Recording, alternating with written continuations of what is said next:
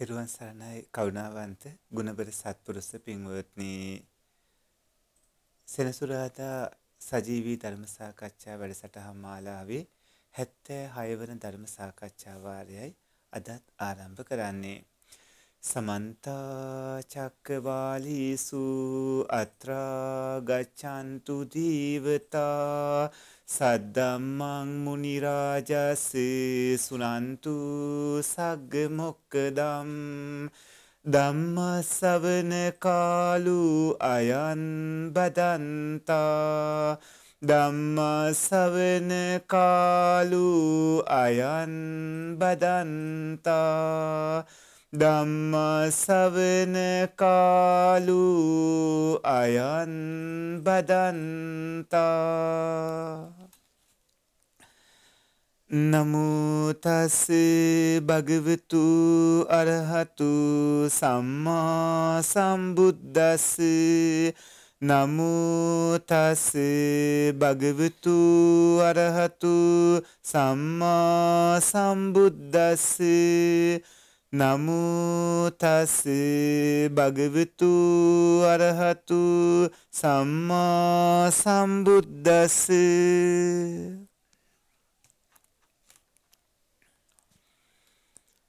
කවුනාවන්ත ගුණබර සත්පුරුෂ පින්වත්නි.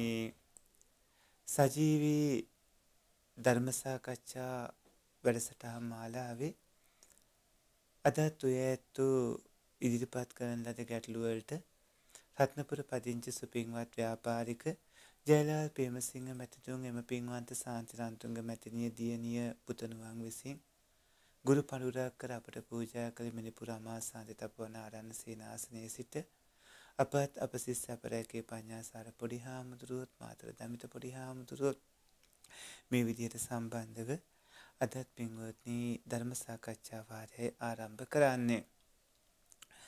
ඔබ අහලා තියෙන පළවෙනි ප්‍රශ්නේ තමයි පින්වත් ස්වාමින් වහන්සේ චුතිචිත්තේ අප විසින්ම මෙහෙයවීමෙන් ප්‍රතිසන්දි චිත්තේ සුගතිගාමී කරගත නොහැකි වේද කරුණාවෙන් පහදා දෙන සේක්වා කියලා.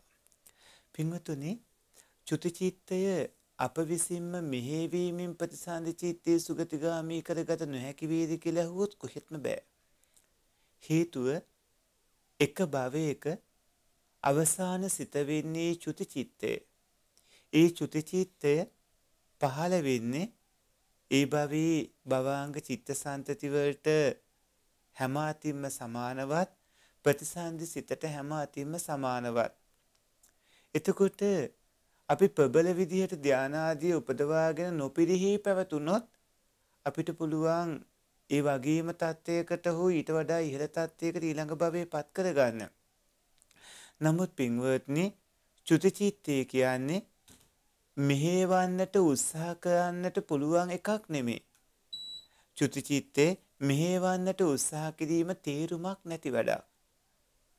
ඒ මරණාසන්න ජවනයන් ප්‍රබල කුසල ජවනයන් වෙන්නට ඔය ඇත්තෝ දැන් දැම්ම ඒ කියන්නේ චුතිසිතට කලින් ඇතිවන ඒ මානාසන චිත්තවීතියේ ජවන්සිත ප්‍රබලේව වෙන්නට නම් ඔය ඇත්තෝ දැන් දැම්ම ඉන්ද්‍රිය බලධර්මාදී වැඩෙන විදිහට ධර්මයේ හැසිරෙන්නට ඕනේ.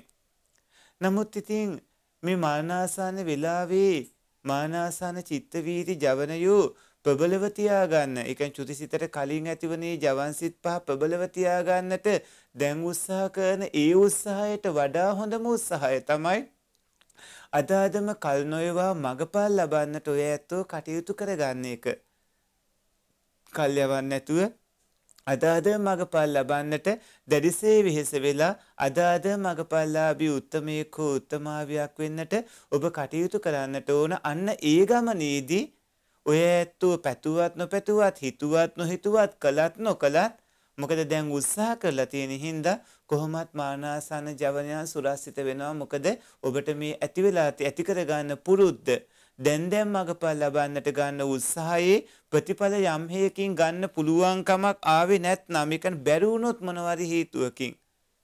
මේ උපකාර වෙනවා මානාසන චිත්ත වීතියේ ප්‍රබල ජවනයන්ට ඊළඟ සුගති උප්පත්තියකට ඒ නිසා කරන්නට ඕනේ මානාසන වෙලාවේ ජවනයන් ජවනයන් තමන්ට ඕන විදිහට කුසලයෙන් සත්‍යමත් කරගන්නට උත්සාහ කිරීම නෙමේ කරන්න ඕන අද අද මගපල් ලබන්න කටයුතු කරන්න එක හැබැයි කවුරු හරි වෙනත් කෙනෙක් මානාසන්න වින්නවා නම් ඔහුගේ හිත කුසල පක්ෂයේ පිහිටුවන එක නම් අනිවාර්යෙන් කරන්නටත් ඕන. ඊළඟට අහලා තියෙන දෙවෙනි ප්‍රශ්නය තමයි ගෞරවනීය ස්වාමීන්ද්‍රයන් වහන්සේ සුබ නව වසරක් වේවා ගෞරවයෙන් විමසමි. අප තථාගතයන්න් වහන්සේ මුඩු මහන කියා බමුණම් බැනවැදුණු අවස්ථා අසා ඇත්තෙමි. අප මහා තථාගතයන්න් වහන්සේගේ කේස ධාතුන් වහන්සේ පූජනීය වස්තු ලෙස ලබා දුන් අවස්ථාවක් අසා ඇත්තෙමි. බුදුරජාණන් වහන්සේ හිස මුඩු කර සිටියේද නැතහොත් අප පිළිම වහන්සේ දකින ආකාරයේ කොණ්ඩේ වැවී සිටියේද ධර්මයේ මේ පිළිබඳ සටහන් වන්නේ කෙසේද? බුදුරජාණන් වහන්සේ සමග එකටම හිටපු බ්‍රහ්මණයන්ට ඇතම් විට පස්වග මහණුන්ට පවා තමන් බුද්ධයයි කියන තෙක්ම බුදුරජාණන් වහන්සේ හඳුනාගත නොහැකි වී යයි අසා ඇත්තෙමි. මෙසේ ඌයේ ඇයි කරුණාවෙන් පහදා දෙන්න කියලා. සත්පුරුෂ පින්වත්නි අද වගේ නෙමේ අතීතයේ පිරිමි කට්ටියත් කෙස් වැව්වා. විශේෂයෙන්ම රාජකුමාරයෝ. සිද්ධාර්ථ මහබෝධිසත්වයන් වහන්සේත් කෙස් වවපු කෙනෙක්. කඩුවෙන් කෙස් කපපු උතුමෙක්. අපේ සිද්ධාර්ථ මහබෝධිසත්වයන් වහන්සේ කේසවැටිය කපලා ඉන්පස්සේ ලෝතුරා සම්මා සම්බුද්ධත්වයේ උදෙසා ආ ගමන් මගේදී අදිෂ්ඨාන ශක්තිය නිසා කෙස් ඒ નિયમિત ප්‍රමාණයට වඩා වැඩින එක නතර වුණා. අදිස්ථාන ශක්තියෙන් එක්තරා ප්‍රමාණයකට විතරයි තිබුණේ. අපි අද ප්‍රතිමා වහන්සේලාගේ දකින්නේ ඒ ස්වභාවය. ඊට වඩා වැඩුන් නැහැ බුදුරජාණන් වහන්සේ කේස ධාතු හිම ඉන්පසු චේතනය කළේ නැහැ. නමුත් තපස්සු බල්ලුක වේවා සුමන සමන් දිවරාජෝත්තමයාණන් වහන්සේ වේවා තවත් තැන්වලදී භාග්‍යවතුන් වහන්සේ වැඳුම් පිදුම් කරන්නට ඒ අදාළ අයට හිස පිරිමැදලා කේසධාතුන් වහන්සේලා මිටක් පරිත්‍යාග කළා තියෙනවා. එතනදී භාග්‍යවතුන් වහන්සේ මුණගැහෙන අය මුඩු මහන කියලා කතා කළා කියලා කියද්දී එදා දිග කෙස් වැටියක් තමයි හැමෝටම තිබුණේ. ඊතා සුළුවට නමුත් ඒ කියන්නේ අඟල් දෙකක වගේ ප්‍රමාණයක් වැවෙනකන් තමයි අපිටත් විනයේ ඉඩ කඩ තියෙන්නේ. විනී නීතිය අනුව අඟල් දෙකක වගේ ප්‍රමාණයක් හිස වැවකිස් වැවෙන්න පුළුවන්. දැන් නම් ඒක විලාසිතාවක් වෙලානේ. එතකොට පින්වතුනි භාග්‍යවතුන් වහන්සේ අර විදිහ සම්පූර්ණ කෙස් වැටි කපලා තිබුණා වගේම ශ්‍රාවකයන් වහන්සේලා සම්පූර්ණයෙන් හිස බාමින් කටයුතු කළා නිසාත් ඒ සියලුම දෙනාගේ ශාස්ත්‍රූන් වහන්සේ බුදුරජාණන් වහන්සේ නිසා. හිස බාන සියලු ස්වාමීන් වහන්සේලාගේ ශාස්ත්‍රඥ වහන්සේ ඒ භාග්‍යවත් ලෝගුරු බුදුරජාණන් වහන්සේ නිසා පොදුවේ එදා මුඩු මහන කියලා තමයි ආමන්ත්‍රණය කළා තියෙන්නේ. එතන මුඩු මහන කියන එකේදී අර වගේ කොණ්ඩි දිකට වවන්න නැතුව ඒ අදිස්ථාන කරලා ඒ විදිහට තියෙනකොට භාග්‍යවතුන් වහන්සේටත් එහෙම ආමන්ත්‍රණය කළා තියෙනවා. ඒක ඔබ වරදවා තේරුම් ගන්න දෙයක් නෙමේ භාග්‍යවතුන් වහන්සේ හිස සම්පූර්ණයෙන් මුඩු කරලා හිටියා. කේස ධාතුන් වහන්සේලා කොහොමද ලබා දෙන්නේ කියන කාරණාවක් ඔබට හිතන්න හැකියාවක් නැහැ. ඒකට හේතුව තමයි භාග්‍යවතුන් වහන්සේ විසින් අදිස්ථාන කරලා එක්තරා ප්‍රමාණයකට පමණක් හිසකෙස් තිබුණා. එතකොට අවශ්‍ය ප්‍රමාණ අවශ්‍ය අයට භාග්‍යවතුන් වහන්සේ කේස ධාතුන් වහන්සේලා පරිත්‍යාග කරලා තියෙනවා. ඒ කේස ධාතුන් වහන්සේලා අදටත් වන්දනාමාන කරමින් පවත්ව ගන්නවා. ඒතකොට බුදුචානන් වහන්සේ හිස මුඩු කර සිටියේ නැතහොත් අප පිළිම වහන්සේ දකින ආකාරයේ කොණ්ඩේ වැවී සිටියේද කියලා ඇහුවොත් අර අදිෂ්ඨානයත් ප්‍රතිමා වහන්සේලාගේ තියෙන මේ පෙන්වා තියෙන ස්වභාවයත් හිතට අරගෙන කටයුතු කරන්න.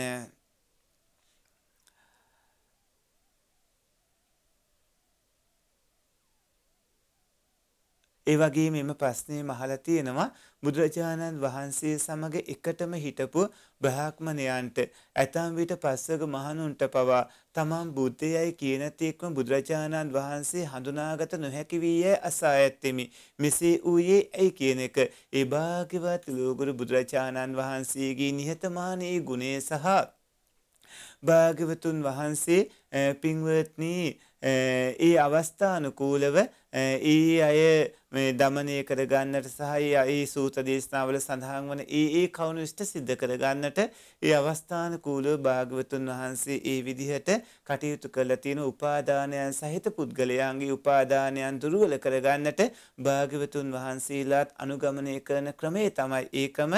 ඒ වරදවා තේරුම් ගැනීම යුක්තියුත්ත නැහැ. පින්වත්නී ඒ අනිත් අයට වනත් ඒ විදිහට අවබෝධ කරගන්නට යම් යම් කාලය යනවා නම් ඒකට හේතුව භාග්‍යවතුන් වහන්සේ ඒ අයගේ උපාදානයන් ඒ අයගේ సంతානයන් පරිස්සම් කරලා බලලා තමයි ඒ විදිහට කටයුතු කළේ. ඊළඟට අහලා තියෙන ප්‍රශ්නේ තමයි අවසරයි පින්වත් සාමින් වහන්සේ ගිහියෙකු වශයෙන් රැකියාවක් කර ලබා ගන්න ආදායම කෙසේ භාවිත කළ යුතුද? ඒ පිළිබඳ ධර්මයේ සඳහන් වන්නේ කුමක්ද? තෙරුවන් සරණයි පින්වත් ස්වාමින් වහන්සේ කියලා. පින්වතුනි ධර්මයේ සඳහන් වෙන්නේ ගිහියෙකු වශයෙන් ඔබ උපේන ධනය තව තවත් වැඩි වශයෙන් එයින් භාගයක්ම යොදවලා ආදායම් මාර්ග වැඩි කර කර වැඩි කර කර වැඩි කර කර ගිහි ඔය ඇත්තන්ට ධනවතුන් අතර ධනවතෙක් වෙන්න කියලා. බලවතුන් අතර බලවතෙක් වෙන්න කියලා තමයි ධර්මයේ සඳහන් වෙන්නේ. ඒ කියන්නේ ඔබ උපේන ධනයෙන් 150ක් ඒකෙන් සම්පූර්ණ භාගයක් යොදවන්න වෙනවා උපේන උපේන එකෙන් තව තවත් උපයා ගන්න. ජීවත් ඉන්නකම් මේක කරන්න වෙනවා. මොකද ඔය ඇත්තන්ගේ මව්පිය අඹ සැමි දූතරුණෑ හිතමිතුරු කියන ඔබේ යැපෙන්නෝ පෝෂණය කරගන්නත් ඔය ඇත්තන්ට සසරින් එගොඩ වෙන්න නාම රූප වලට උපකාර වන නානාපකාර පින් කර ගන්න වෙනවා. ඒ කියන්නේ ඔය පින්වතුන්ට සිද්ධ වෙනවා දන් දෙන්න, සිල් රකින්න, කාමයන්ගෙන් වෙන් වෙන්න, ප්‍රඥාව දියුණු කරගන්න, කටයුතු කරගන්න, ඉවසන්න, සත්‍යවාදී බව අදිස්ථාන මෛත්‍රී උපේක්ෂාදී වඩන්න. ඒවා වඩන්නට පින්වත්නි ආර්ථික ශක්තියත් ඕන වෙනවා. මොකද හැම වෙලාවෙම රැකියාවටම යමින් කටයුතු කරන්නට සිද්ධ වෙනකොට කාලයත් පිරිමහ ගන්න බෑ. අවශ්‍ය කරන පොත්පත් මිලදී ගැනීම වගේව කරගන්නත් අමාරුයි. ධර්ම දාන ආදී බොහෝ දේවල් තියෙනවා. දන් දෙන්නත් ඕන. ඉතින් ඔය හැමදේම කරගන්න නම් ඔබේ ජීවිතේ හරියට කළමනාකරණය කරගෙන ඉන්නට ඕන. ඒකේන භෝගී පුංචේය ද්විහි කම්මං පයෝචේ චතුත්තංච නිදාපේය ආපදස්ස භවිස්සති උපේන ධනයේ සමානව කොටස් හතරකට බෙදන්න. එයින් 125 ගොඩවල් හතරෙන් එක කොටසක් තමන්ගේ කෑම්බීම ඉඳුම් හිටුම් වෙනුවෙන් දානමාන ආදී කටයුතු වෙනුවෙන් වෙන් කරන්න. හදිසියක් ලෙඩක් දුක කාදරයක් ප්‍රශ්නයක් ආවොත් ප්‍රයෝජනයට ගන්න. තවත් 125 තැන්පත් කරන්න. හැබැයි අර මැද 125 ගොඩවල් දෙකක්ම වෙන් කරගන්න. ආදායම් මාර්ගී තව තවත් වැඩි දියුණු කරගන්නට. බෞද්ධයෝ කියන්නේ තමන් කරපු පින්කම් බුද්ධි විඳින පිරිසක්. දන් දුන්නා නම් ඒ වගේ විපාක ලැබෙනකොට බුද්ධි විඳින්න ඕන. හැබැයි හිත නිකලෙස්ව. අටමහා කුසල් සිත් ඇතිව අකුසල් සිත් දෙලා ඇති වෙන දෙන්නේ නැතුව කටයුතු කරගන්නට ඕන? අත්තරින්න අත්තරින්න අත්තරින්න කියන වචනය අද අවභාවිතා කරනවා බහුල විදිහට. ඔය ඇත්තෝ අත්තරින්න ඕන කියලා ඔබට ඇස්වල පෙනීම කන්වල ඇහිම මගපල් ලබන්න ඕන කරන බෝධිපාසක ධර්ම දියුණු තියුණු වෙන ඒ කාරණා ඕවා අත්තරින්න ගියොත් හොඳට හිටි. පින්වත්නි ඒව රැස් කරගන්න. ඔබ අත්තරින්න සියලුම කෙලෙස් ධර්මයෝ අකුසල ධර්මයෝ ඒ නිසා ආදායම් මාර්ගයෙන් වැඩි දියුණු කරගෙන ගිහි ජීවිතයේ සැපවත් සුවපත් එකක් කරගෙන ඔබේ ජීවිත සුරක්ෂිත කරගන්න රාජ්‍යපාලකීන්ට වැරදුනත් ඔබට නොවරදින විදිහට. ඊළඟට අහලා තියෙන ප්‍රශ්නේ තමයි අවසරයි සුපින්වත් ස්වාමින් වහන්සේ මරණාසන්න මොහොතේ ජවන්සිත හතම පහළ නොවි ජවන්සිත පහ පමණක් පහළවන්නේ ඇයි අනුකම්පාවෙන් පහදා දෙන සීක්වා පින්වත් සාමින් වහන්සේට උතුම් අරහත්වීම සාක්ෂාත් වේවා කියලා. ඒකට හේතුව තමයි අර එක දිගටම ආපු වස්තු රූප දසකය මැරෙන්න ආසන්න වෙලා වෙනකොට දුර්වල වීම හෘද වස්තු රූප දසකයේ දුර්වල වීම හින්දා ජවන්සිට සාමාන්‍යයෙන් චිත්ත වීතියේ හතක් ඇති විය යුතු උනත් පින්වත්නි මෙතෙන්දී ඇති වෙන්නේ පහයි. ජවන්සිට පහයි ඇති වෙන්නේ ඒකට හේතුව තමයි මානාසන්න මොහොතේදී වස්තු රූපේ දුර්වල වන හින්දා. සත්පුරුෂ පින්වත්නි ඊළඟට අහලා තියෙන ප්‍රශ්නය තෙරුවන් සරණයි අවසරයි අපේ හාමුදුරුවනේ මේ ලෝකයේ මමය මගේය කියලා දෙයක් නෑනේ. එය පරම සත්‍යයක් බව මම දන්නවා. නමුත් මට ඒක තවදුරටත් පැහැදිලි කරගන්නට අවශ්‍යයි. අපේ හාමුදුරුවනේ මට තිබෙන ගැටලුව මෙයයි. මමයේ මගේය කියා දෙයක් නැතිනම් මම කරන කර්මයන්. මමයේ මගේය කියා ගත හැකි දෙයක් නැති බව මම දනිමි. එලෙස මම කර්මයේ දායාද කරගත් කෙනෙක් බවද දනිමි. මේ දෙක අතර ඇති සම්බන්ධය මට වටහා ගැනීම අපහසුය. සද්ධර්මය කෙරෙහි මගේ කිසිදු විචිකිච්ඡාවක් නැත. නමුත් නීවරණය මාව එහි පටලවමින් සසරට ඇද දැමීමට කටයුතු කරමින් සිටින බව මම දනිමි. ඇත්තේ මගේ පුහුදුන් නුවණට මෙය විමසා තීරුම් ගැනීමට ඇති නොහැකියාවයි. ඒ නිසා මට මේ තීරුම් කර දෙනමින් ඔබ වහන්සේගෙන් নমස්කාර පූර්වකව ඉල්ලා සිටිමි කියලා. කරුණාවන්ත ගුණබර සත්පුරුෂ පින්වත්නි ඒක මෙන්න මෙහෙම තීරුම් ගන්න. මම මගේ ආත්මයේ සත්‍යයා පුද්ගලයා කියලා ඔය ඇත්තු හිතන අදහස අපි විස්තර වශයෙන් දැනගන්න ඕන නාම රූප විදිහට. તો නාම රූප ධර්ම මේ තියෙන්නේ. මම මගේ ආත්මයේ සත්‍යයා පුද්ගලයා කියලා ඔබ කිව්වට එහෙම එකක් නැහැ. ඊයේත් ඔබ මම කිව්වා අදත් එහෙනම් මම කියන කෙනා ඔබ පෙන්වන්න ඕන. පෙරේදත් ඔබ මම කිව්වා අදත් මමෙක් පෙන්වන්න ඕන. ඔය ඇත්තෝ පුංචි කාලේ අද වෙනකම් මම ආත්මය කියලා කිව්වා නොවෙනස් ස්ථීරසාරව තිබ්බේ මොකද්ද කියලා ඔබ පෙන්වන්න ඕන. ඔය ඇත්තන්ට හම්බ වෙන්නේ පින්වත්නි චිත්තස්සන 17ක නැත්තම් කුඩා චිත්තස්සන 51ක ආයු කාලයක් තියෙන රූප ධර්ම. ඔය ඇත්තන්ට හම්බ වෙන්නේ චිත්තස්සන එකක නැත්තම් කුඩා චිත්තස්සන 3ක ආයු කාලයක් තියෙන නාම ධර්ම. එතකොට ඒ නාම ධර්මයෝ හටගන්නේ හේතුන්ගෙන්. රූප ධර්මයෝ හටගන්නේ හේතුන්ගෙන්. හටගත්ත ගමන් මේක නැතුව යන එක අනිත්‍ය ලක්ෂණය. නැති වෙද්දිම නැවතත් ඒක ඇති වෙනවා. ඇති වුණු ගමන්ම නැති වෙනවා. නැති වෙද්දිම ඇති වෙනවා. ඒ ඇතුව නැතුව යන ස්වභාවයේ අනිත්‍ය ධර්මය. හැබැයි අනිත්‍ය තත්ත්වයට නිතරම පත් වෙමින් පීඩාවට පත් නිසා ඒක දුක්ඛ ධර්මයක්. ආත්මය මම කියන්නේ මොකද කියලා බැලුවොත් ඒ හේතුන්ගෙන් හටගන්න ධර්මවල කොහොමද ස්ථීර සාරව ආත්මය කියලා දෙයක් පෙන්වන්නේ. දැන් හිතන්න ඔය ඇත්තෝ අද උදෙත් කන්න ඇති. දවලුත් කන්න ඇති. සමහරලාට මේ වැඩසටහන පැවැත්වෙන්නේ මේ රෑ 8ට හින්දා දැන් ටිකට කලනොත් ඔය ගිහි ඇත්තෝ කන්න ඇති.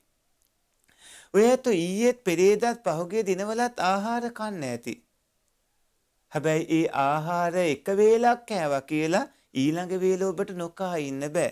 ඈනු යන ඇඟට අමාරුයි ඔබට කන්න වෙනවා. ඒ කියන්නේ ඔය ඇත්තන්ට ඔය ශරීර පවත්වාගෙන යන්නට ආහාර දිගින් දිගටම අනුභව කරන්න වෙනවා. ඉතින් ඒ අනුභව කරන්න ඕනේ ආහාර කියන හේතුවෙන් රූප උපදවන හින්දානේ. ඒක තේරුම් ගන්න මොන රූපද උපදවන්නේ කොහොමද කියලා. අනිත් එක තමයි උණුසුම. දැන් ඔය ඇත්තෝ මව් කුස පිළිසිඳ ගන්නකොට දැන් අපි මෙහෙම කියමුකෝ. අණ්ඩ ජලාබුජ සංසේච උපාති කියන උපාතිකම හතරෙන්. ජලාබුජ කියන ගර්භාස උප්පත්තියකට මනුස්සයෙක් එනකොට. ඒ කාන්තාවගේ ඒ නියමිත කාලවලට ඇවිත් ඔසප්චක්‍රය ක්‍රියාත්මක වෙන්න වෙනවා. එතොට මව්පියන්ගේ සම්බන්ධයෙන් ඒ කාන්තාවගේ ගැබේ දරු ගැබක් පිහිටනවා එහෙම නැත්නම් ගර්භාෂයේ පින්වත්නි පහළ වෙනවා ගර්භාෂය තුල පංච උපාදානස්කන්ධයක් ඒ පංච උපාදානස්කන්ධය පහළ වුණු මොහොතේ පටන් ඒ රූප නැවත නැවතත් නැවත නැවතත් නැවත නැවතත් මෝරමින් පැසවමින් පැසවමින් උණුසුමක් තියෙන්න ඕන. ඒ උණුසුම අම්මගේ ශරීරයේ තියෙන උණුසුම. ඒ කලලයට ඕන වෙනවා පින්වතුනි ආහාර. ඒ අම්මගේ ශරීරයේ පෙකණිවැල ඔස්සෙන් ලැබෙන ආහාර. පෝෂණයක් ඕන වෙනව වැඩෙන්න. අර වැදෑ මහ තුල තියෙන ඒ ජලය හා ඒ දියරේ හා සමාන ඒ තත්ත්වයේ තුලේ දියරේ තියෙන පෝෂණය වගේ. එතකොට මේ වගේ හේතුවක් ඕන වෙනවා. ඉතින්දී සඩබල්දාරියෙක් නැත්තම් මම කියලා කෙනෙක් නෙමේ තිබ්බේ. තලතෙල් පැහැයකින් ලී පාටටත් එයින් කැටි ගැහිලත් ඝනමස් පිඬුවකටත් බුබුලුත් දමමින් අතපය ආදියත් වැඩෙමින් කෙස්නිය ආදියත් වැඩෙමින් ඉපදිලත් කිරිබීලත් ඒ වාගේම බිරි කරපු ආහාර කාලත් දත් ඇවිල්ලත් ටිකෙන් ටික ළමාවිය තුරුණුවිය පහු කරගෙන දැන් ඉන්න තත්ත්වයට එනකොටත් ස්ථීර සාරුව මොනවත්ම නෑ මොනවත් තිබෙන්නේ මොනවත්ම නැති වුණත් හේතුඵල ධර්මයන්ගේ ක්‍රියාකාරීත්වයක් වූ ධර්මතා සමුදායක් ඔය උණුසුම ආහාර දෙක වගේම හිතත් ලොකු හේතුවක් කර්මයේ ප්‍රබල හේතුවක් මේවා නාම රූප ධර්මයන් කියන හේතුඵල ධර්මයන්ගේ ක්‍රියාකාරීත්වයක් වූ ධර්මතා සමුදායක් කියන එක තේරුම් ගන්න මහන්සි ගන්න. එතකොට ඒ ගැටලුව අපූර්වට ලිහිවි. සත්පුරුෂ පින්වත්නි ඊළඟට අහලා තියෙන ප්‍රශ්නේ තමයි ස්වාමීනි ඉන්ද්‍රිය ධර්ම පහ එක මට්ටමක තබාගෙන වර්ධනය කිරීමට අප මේ ලවපු මනුස්ස ජීවිතයේ කුමක් කළ යුතුද ස්වාමීනි? ඒ වගේම ස්වාමින් වහන්සේ අපි විදර්ශනා භාවනා වඩන විට ඉන්ද්‍රිය ධර්ම පහ වැඩෙනවද? තෙරුවන් සරණ ස්වාමින් වහන්සේට කියලා. සද්දේන්ද්‍රිය විරීන්ද්‍රිය සතින්ද්‍රිය සමාධින්ද්‍රිය පඤ්ඤේන්ද්‍රිය. බලධර්ම වෙන්නේත් ඕවමයි. ඔය ඇත්තෝ සිල් සමාදන්ව සීලය හොඳට රැක්ගන්න. සිල් රකින්න කොටත් ඔය ඉන්ද්‍රිය ධර්ම පහ වැටනවා. ඔය ඇත්තෝ දන් දෙන්න. එතකොටත් ඉන්ද්‍රිය ධර්ම පහ වැටනවා. ඔය ඇත්තෝ සමත විදර්ශනා භාවනා වඩන්න. එතකොටත් ඔය ඉන්ද්‍රිය ධර්ම යෝ වැටනවා. ඔය ඇත්තෝ ධර්මයේ තුලම ජීවත් වෙන්න ධර්මයේම ඉන්න අපූර්වට බෝධිපාසික ධර්මතා තුන තියෙන ඒ ධර්මතා තුල තියෙන ඔය ඉන්ද්‍රිය බල ධර්මාදියත් අපූර්වට වැටෙනවා. සත්පුරුෂ පින්වත්නි මේ මනුස්ස ජීවිතයේදී ඔය ඇත්තෝ එය කරන්නට ආර්ය අෂ්ටාංගික මාර්ගයම පිළිපදින්නට ඕන. මේ මනුස්ස ජීවිතේ පොඩ්ඩක්වත් අපත යන්න දෙන්න එපා. ආර්ය අෂ්ටාංගික මාර්ගයේ පිළිපදනකොට මේ ඉන්ද්‍රිය බල ධර්මාදී වැඩිවි. ඒකට සමත භාවනා විදර්ශනා භාවනා දෙකම කරන්න ගුරුවරුන්ගේ සෙවණ තුල කටයුතු කරන්න. එතකොට ඉක්මනටම ඔය ඇත්තන්ට සියලු කටයුතු සිදු කර ගන්න පුළුවන් මාර්ගයේ ගුරුවරු බොහෝම කරුණාවෙන් පෙන්වා දෙනවා ඇති භාවනා ධර්මයන් අනිවාර්යයෙන්ම වඩන්න විදර්ශනා භාවනා වඩනකොට ඉන්ද්‍රිය ධර්ම පහ වැටෙනවද? ඔව් අනිවාර්යයෙන්ම වැඩෙනවා. සත්පුරුෂ පින්වත්නි ඊළඟට අහලා තියෙන ප්‍රශ්නේ තමයි ගෞරවනීය ස්වාමින් වහන්සේ ලෝතර බුදුරජාණන් වහන්සේලා පහළවන්නේ අපසක්වල පමණක් බව අසා ඇත. එවිට ස්වාමින් වහන්සේ සක්විති රජවරු පහළ වෙන්නේ අපසක්වල පමණක්ද? පින්වත්නි කල්ප කෝලාහලේ බුද්ධ කෝලාහලේ චක්කවර්ති කෝලාහලේ කියලා කෝලාහලක් තියෙනවා. බුද්ධ කෝලාහලයකට අවුරුදු ලක්ෂයක් තියදී තමයි ආරම්භ වෙන්නේ. හැබැයි අවුරුදු 100ක වගේ කාලයක් තියදී තමයි චක්කවර්ති කෝලාහල ආරම්භ වෙන්නේ. එතකොට සක්විති රජ කෙනෙක් පහළ වෙන්න පුළුවන් ද වෙනසක් වලක කියලා ඇහුවොත් ඔහු පහළ වෙන්න කිසිම ගැටලුවක් නැහැ සක්විති රජ කෙනෙක්නේ. සක්විති රජ කෙනෙක් වෙනසක් කළක පහළ වෙන්න පුළුවන්. ඒ වුණාට ලෝතර බුදුරජාණන් වහන්සේ නමක් පහළ වෙන්නේ මේ මගුල් සක්වලේ පමණයි. සක්විති රජු බුදුරජාණන් වහන්සේට කිසිසේත්ම සමාන කරන්න එපා. ඔහු ඊට දුර්වල කෙනෙක් භාග්‍යවතුන් වහන්සේ සමග සංසන්දනය කළහම.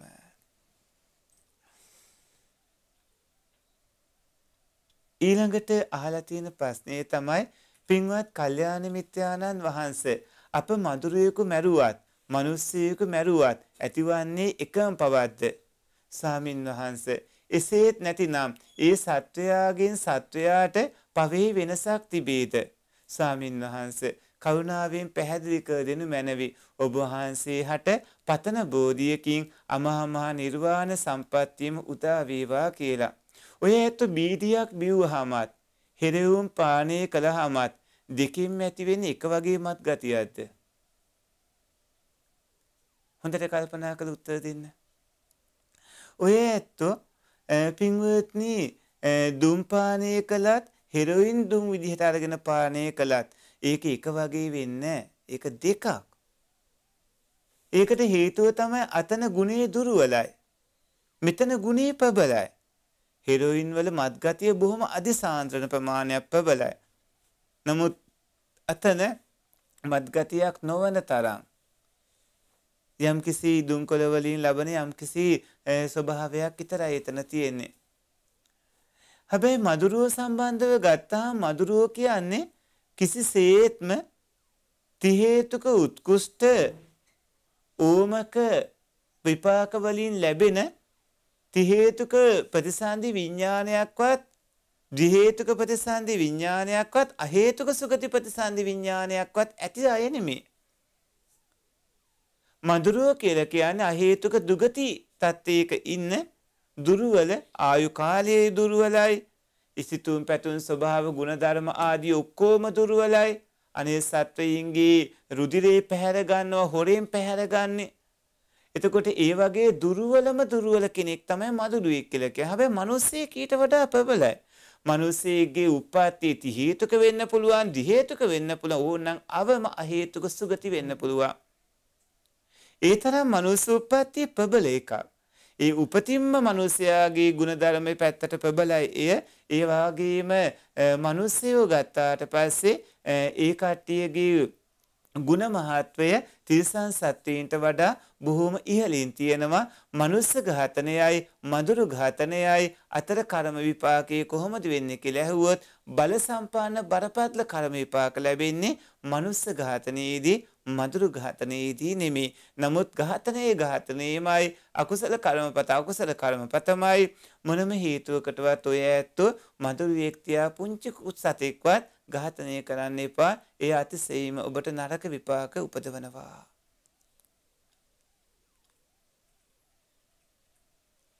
සත්පුරුෂ පින්වත්නි ඊළඟට අහලා තියෙන ප්‍රශ්නේ තමයි ස්වාමින් වහන්සේ අටමහා කුසල් මගින් ආනන්තරීය පව් හැර සියලු අකුසල් යටපත් කළ හැකි බව අසා ඇත. එය කරන්නේ කෙසේද? තෙරුවන් සරණයි කියලා. සත්පුරුෂ පින්වත්නි අටමහා කුසල් මගින් ආනන්තරීය පහු ඇර සියලු අකුසල් යටපත් කළ හැකි බව අසා තියෙනවා කියලා කිව්වහම ඒක කරන්නේ මෙන්න මේ විදිහට අටමහා කුසල් වලින් පින්වත්නි සියලු අකුසල් යටපත් කරන්නට පුළුවන්ද යටපත් වන විදිහකුත් තියෙනවා හැබැයි සමහරලාට මතුවලා තියෙන ප්‍රබල කාරණාත් තියෙනවා. සමහර ඒවා යටපත් කරන්න බැරි මට්ටමකක් තියෙනවා. යටපත් වෙන්නේ මතුවන කුසලයේ ස්වභාවයේ අනුව. දැන් ඔය ඇත්තෝ කටිනට්ට පරික්කාරං වාසදානංච මුත්තමං බුද්ධපමුක සංගස්ස දානං ධම්මස්ස ලීකනං කිත්ත දානංච සංගස්ස පටිමා කරණං පිචේ. කරණං වච්චකුටියා අට්ටපුඤ්ඤාති උච්චරේ කියන විදිහටනේ කටින පූජා මහා පිංකම් සිද්ධ කරන්නේ. අටමහා කුසල් අනිකුත් අටපිරිකර ආදී පිංකම් සිද්ධ කරන්නේ. එතකොට ඔය ඇත්තෝ ඒ පින්කම කරන්නට කටයුතු කරන పూర్ව චේතනා වාරිනම් පින්කම කරන්නකම් ඔබට ඇති වුණු කුසල හේතු යෙදෙන ජවනයන්ට විපාක ලැබෙනවා. මුංචන චේතනා වාරීදී ඔය ඇත්තන්ට කුසල හේතු යෙදෙන ජවනයන්ට විපාක ලැබෙනවා. අපර චේතනා වාරීදීත් ඔය ඇත්තන්ට කුසල හේතු යෙදෙන ජවනයන්ට විපාක ලැබෙනවා. පූර්ව මුංචන අපර කියන තුන් අවස්ථාවටම ඔය ඇත්තන්ට විපාක හම්බ වෙනවා. එතකොට පින්වත්නි ඔබ වැඩි කාලයක් සිතකය වචනේ මෙහෙවමින් අර පින්කම් වල යෙත්නකොට අර අකුසල ධර්ම ඔබ කරගෙන තියෙන අකුසල ධර්ම විපාක දෙන්නට ඔබේ නාම රූප ධර්ම වලට අවස්ථාව ලැබෙන්නේ මොකද අකුසලයක් මතුවෙන්න නම් ඔය ඇත්තෝ ඒ වෙනුවට අවස්ථාව තියෙන්න ඕනේ ඒට ඔබේ චිත්ත සන්තතියට අවස්ථාව දෙන්නේ මේ දිගින් දිගටම ඔබ කුසලයේ හැසිරෙන හින්දා. ඒ කියන්නේ ඔබේ පෙර සංසාරයේ කරගෙන තියෙන කුසල කර්ම දැන් බුද්ධි විඳින්මින් ඉන්නකොට හරියට ඒක අපි කියමුකෝ වේලුණු දර ටිකකට ගිනි තියලා ඒ දර ගොඩක් ගහලා දර ගොඩ පත්තු වෙනකම් බලන් ඉන්නවා කියලා දැන් පත්තු වීගෙන යනකොට ඒ දර ටික අවසන් වෙන්න හදනවා. එතකොට පෙර අකුසල එහෙම මතුවෙන්න හදනවා. හැබැයි ඒ අකුසල මතුවෙන්නේ නැතු අර දර ටික අවසන් වෙන්න දෙන්නේ නැතු ඒකට ඔය ඇත්ත තවත් අලුත් දර ගෙනල්ලා දානවා. වේලුණු අලුත් දර ගෙනල්ලා දාද්දී නැවත නැවත සිද්ධ වෙන්නේ දිගින් දිගටම සත්පුරුෂ පින්වත්නි ඔය ඇත්තන්ගේ කුසල උපාදනය වීමක්. ඒ කියන්නේ අර ගින්දර දිගටම පවතිනවා වගේ. ඒ වගේ අටමහා කුසල් ආදී දිගින් දිගටම කරනකොට ඒ ඇගේ චිත්ත සන්තති ති හේතුක උත්කෘෂ්ඨ ඕමක දි හේතුක උත්කෘෂ්ඨ ඕමක ආදී විදියට සකස් වෙනවා කියලා කියන්නේ ඒකෙන් ඒ ඇයට අතිශයින්ම උපකාර වන කුසල ධර්ම රාශියක් හම්බ වෙනවා කියන එක කුසලියෝ රාශියක් පින්වත්නි ඇති වෙනවා. ඒ නිසා ඔය ඇත්ත අටමහා කුසල එහෙම අපූර්වට කරගන්න ඒකෙන් ආනන්තරේ පාප කර්ම නැති කරන්න බෑ. නමුත් බොහෝ අකුසල ධර්මයෝ දුර්වල තත්ත්වයට පත් කරන්න පුළුවන්. හැබැයි ඒකෙන් අදහස් කරන්නේ ඒ අකුසල ධර්ම නැත්තටම නැති කරනවා කියලා ditta ධම්ම වේදනීයව තිබේව නැති වේවි. උපපජ්ජ වේදනීයව තියෙන ඒවා සමහරලාට ඔබේ ප්‍රබල කුසලෙ හිඳ නැති වේවි. නමුත් අපරාපරිය වේදනීය වශයෙන් ඒ කර්ම තියෙනවා. ඔය ඇත්තු ඒ නිසා මගපල් ලබන්න තමයි කටයුතු කරගන්නට ඕනේ.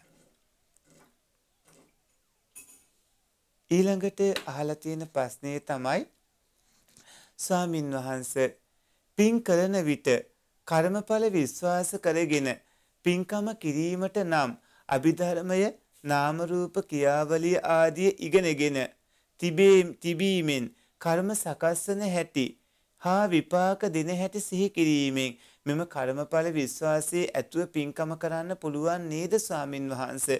ඔබ වහන්සේට තෙරුවන් සරණයි කියලා.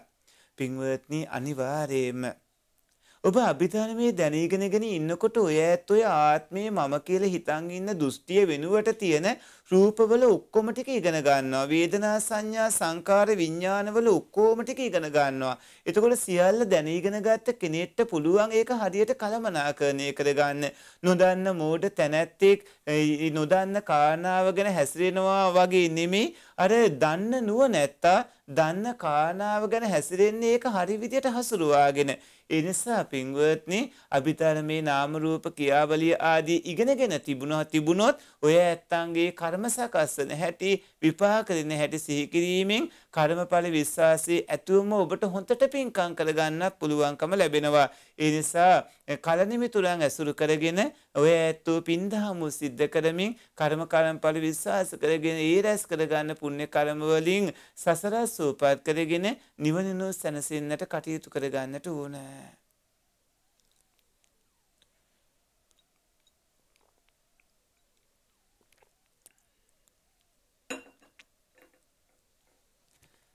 සත්පුරුෂ පින්වත්නි ඊළඟට අහලා තියෙන ප්‍රශ්නේ තමයි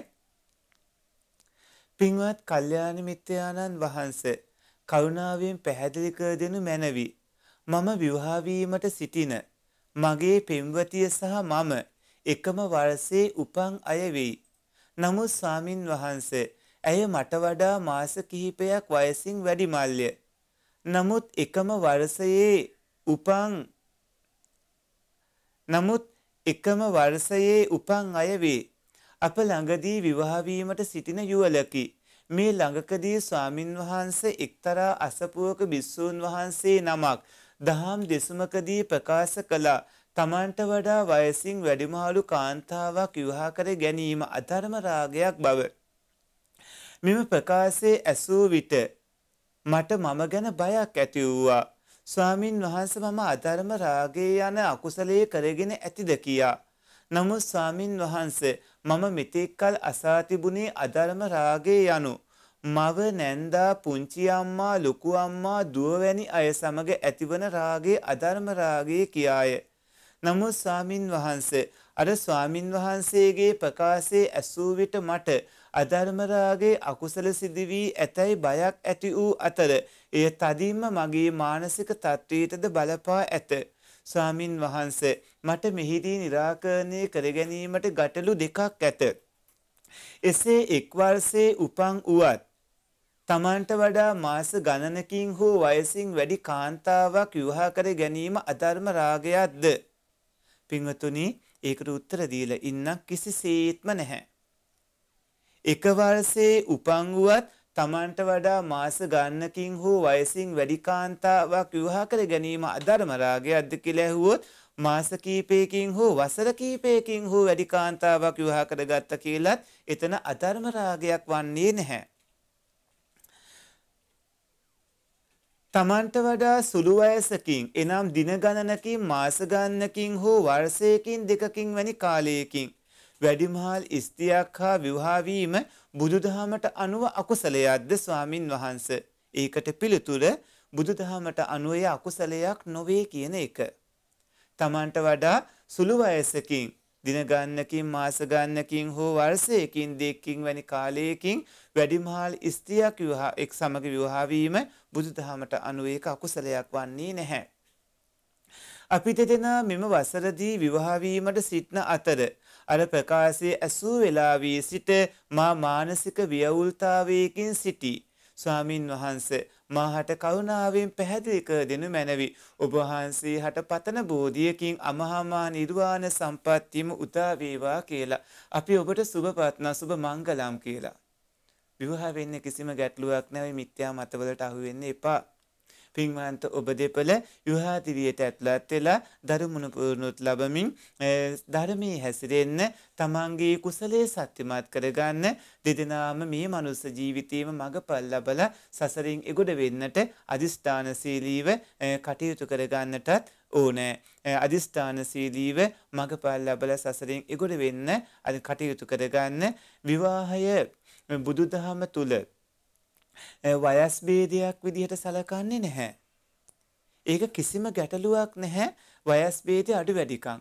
නමුත් එහෙම කිව්වා කියලා ඒකට අනුබල දෙනවා නෙමෙයි මේ තියෙන කාරණා මේ පෙන්වන්නේ කර්ම කර්මඵල අනුව මොකද සිංහල සංස්කෘතිය සහ මේ රටවල ලෝකවල වල තමන්ගේ වයසට වඩා අඩු කට්ටිය මේ ඒ කියන්නේ වැඩිමහල් කාන්තාවන්ට වයසින් අඩු අය විවාහ කර ගැනීම සිංහල සංස්කෘතිය දකින් ලොකු බරපතල වරදක් විදිහට. සිංහල සංස්කෘතිය හැටියට වයසින් වැඩි කාන්තාවක් වයසින් අඩු කෙනෙක් විවාහ කර ගැනීම බරපතල වරදක් විදිහ දැක්කට කර්ම කරම්පල කතාන්දරයේදී අපිට නම් එහෙම වරදක් පේන්නේ නැහැ. ධර්ම විනයානුකූලව බැලුවහමත් එහෙම වරදක් පේන්න නැහැ. හැබැයි මෙහෙම දෙයක් තියෙනවා ගොඩක් වයසට ගිය අය නම් තරුණියන් හෝ තරුණයින් විවාහ කර ගැනීම පිරිහීමට හේතුවකුත් වෙනවා. අධර්ම රාගය කියන්නේ මව නැන්දා මවගේ සහෝදරිය පියාගේ සහෝදරිය ආදීන් කෙරෙහි අයුතු ස්ථානයේ ඇතිවන රාගයට. අධර්ම රාගය කියන්නේ ඒකට වයසින් වැඩි වුණු අනෙක් කාන්තාවන් සම්බන්ධව නෙමේ මාසයක් හෝ වසර දෙක තුනක් එහෙම වෙනවා කියන්නේ ධර්ම විනයානුකූලව විවාහ දිවියට ඒක බාධාවක් නෙමේ. ඔය ඇත්තෝ සතුටින් සැනසෙල්ලෙන් කටයුතු කරගන්න තමන්ට ගැලපෙන සහකාරු හෝ සහකාරිය පෙර සංසාරයේ බැඳීම් ඇතිවත් හිටිය අය වෙන්න පුළුවන්. ඒ අය මුණ ගැහෙනකොට පොඩ්ඩක් අඩු වැඩි වුණා කියලා වයසේ එහෙම ඒක බලපාන ප්‍රශ්නයක් නෙමේ බලපාන්නේ ඒ මිත්‍යා දෘෂ්ටික සම්‍යක් දෘෂ්ටික ස්වභාවයයි.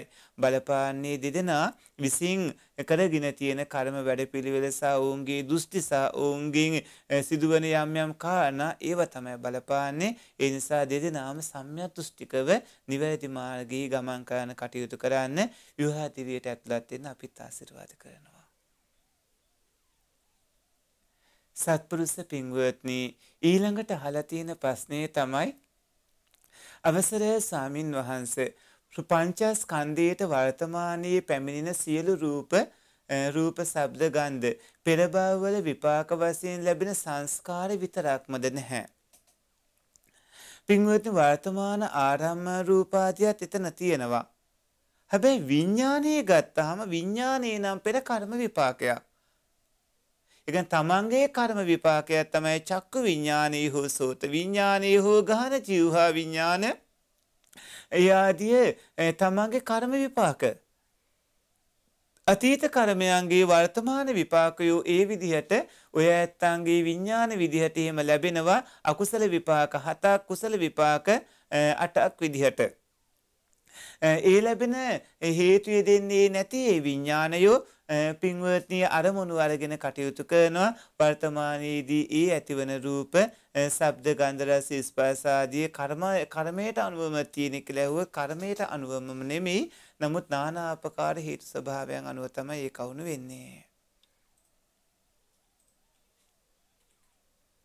ඊළඟට අහලා තියෙන ප්‍රශ්නේ තමයි පින්වත් කල්යාණ මිත්‍යානන් වහන්සේ මට දිනක් බණ කතාවක අසන්නට ලැබුණා.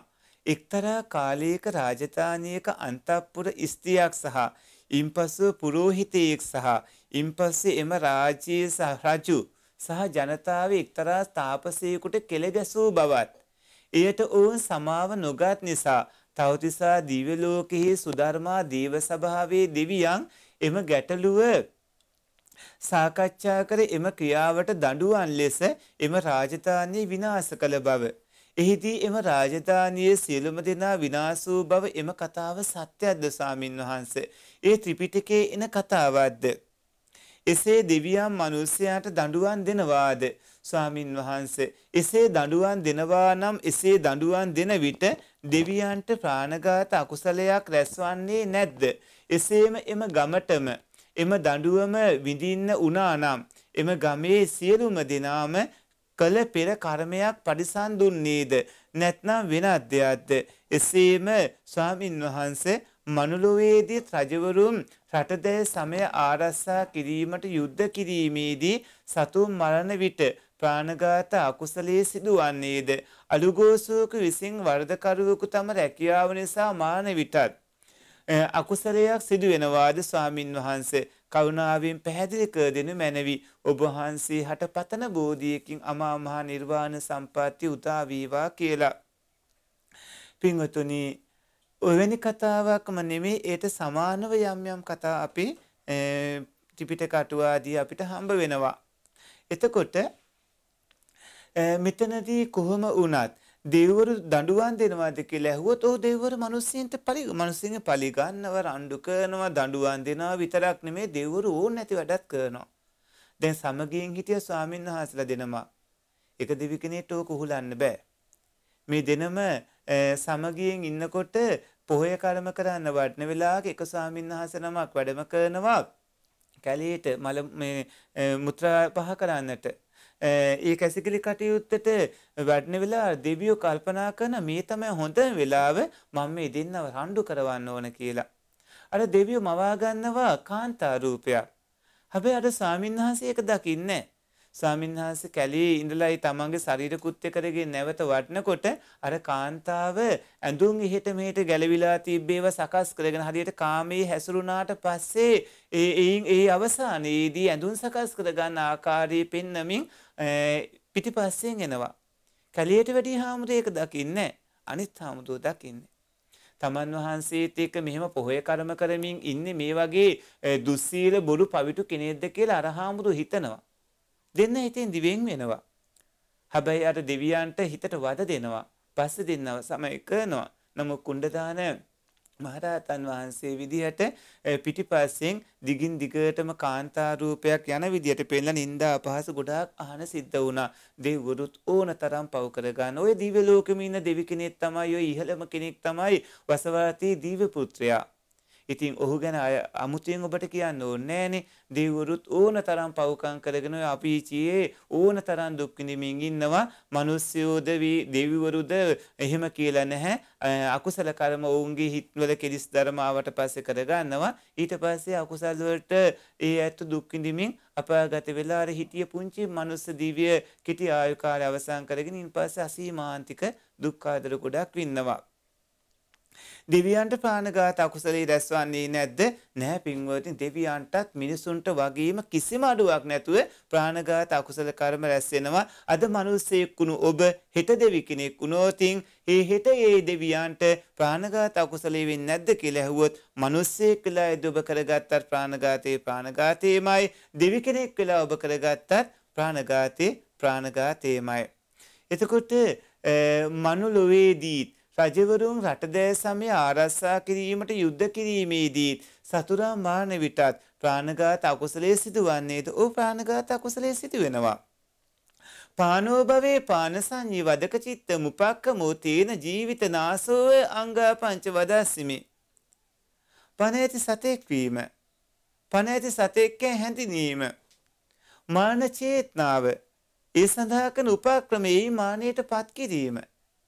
එතකොට ඔන්න ඔය ටික වෙනකොට අනිවාර්යයෙන්ම අකුසල කර්ම වෙන රජවරුන්ටත් එහෙම අකුසල කර්ම සිද්ධ වෙනවා. නමුත් රජවරුන්ගේ අරමුණුත් එක්ක දැන් දුටිගමන මහරජතුමා වගේ ඒ අරමුණුත් එක්ක පින්වත්නි සමහර කාරණා දුර්වල මට්ටමට පත් වෙනවා සමහර අකුසල ධර්මයෝ. ඒ වගේම ඔබ අහලා තියෙනවා මේ ප්‍රශ්නේදීම පින්වත්නි අලුගෝසුවක විසින් වරදකරුවෙකු තම රැකියාව නිසා මාන විටත් අකුසලය සිදිනවා. ඔහු ඔහුටත් අකුසලය සිද්ධ වෙනවා. හැබැයි ඔහු අර වෙනත් නීතියෙන් ලැබුණු දෙයක් හින්දා පුද්ගලයාත් එක්ක තදබලාමනාපයක් නැහැ. ඒ නිසා ඔහුට ඇතිවන දේශසිත ප්‍රමාණය අවමයි. දේශසිත වල යෙත්න හේතුවේ බල සම්පන්නකමත් දුර්වලයි. ඒ නිසා අකුසලයක් වුණාට විපාක ශක්තිය යම් තාක් දුරකට දුර්වල වෙන්නත් පුළුවන්.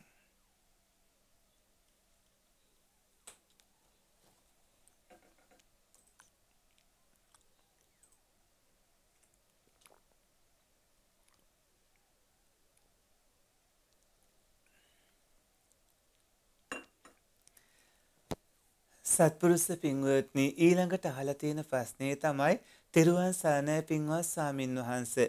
පංචශීලයේ රැකගෙන දිනපතා බුද්ධ පූජාව කිරීමෙන් මානින් පසු ඒකාන්තයෙන් සුගතිගාමී වීමට පුළුවන් බව. රූපවාහිනී නාලිකාවක ධර්මදේශනාවකදී දේශනා කරන ලදීමේ සත්‍යයක්ද අසත්‍යයක්ද?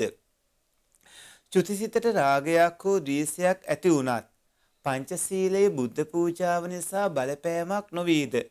ඔබ වහන්සේ ප්‍රාර්ථනීය බෝධියකින් උතුම් චතුරාර්ය සත්‍ය ධර්මයේ අවබෝධ වේවා තිරුවන් සරණයි කියලා. පින්වත්නි පංචශීලයේ රැකගෙන උදේ දවල් සම්බුද්ධ බුද්ධ පූජා පවත්වමින් ඉන්න කෙනෙක් අර රැකගත් පන්සිල් වල ඒකෙන් පළවෙනි සිල්පදේ කඩා ගන්න නැතුව සතුන් මැරීමෙන් වැළකීමේ සිල්පදේ රැකීමම පුරුදු කරගත්ත හින්දා ජීවිත කාලේ ඒ කෙනාට ඒ කුසලයට ඇති දිව්‍ය ලෝකයක ඕනනම් උපදින්න.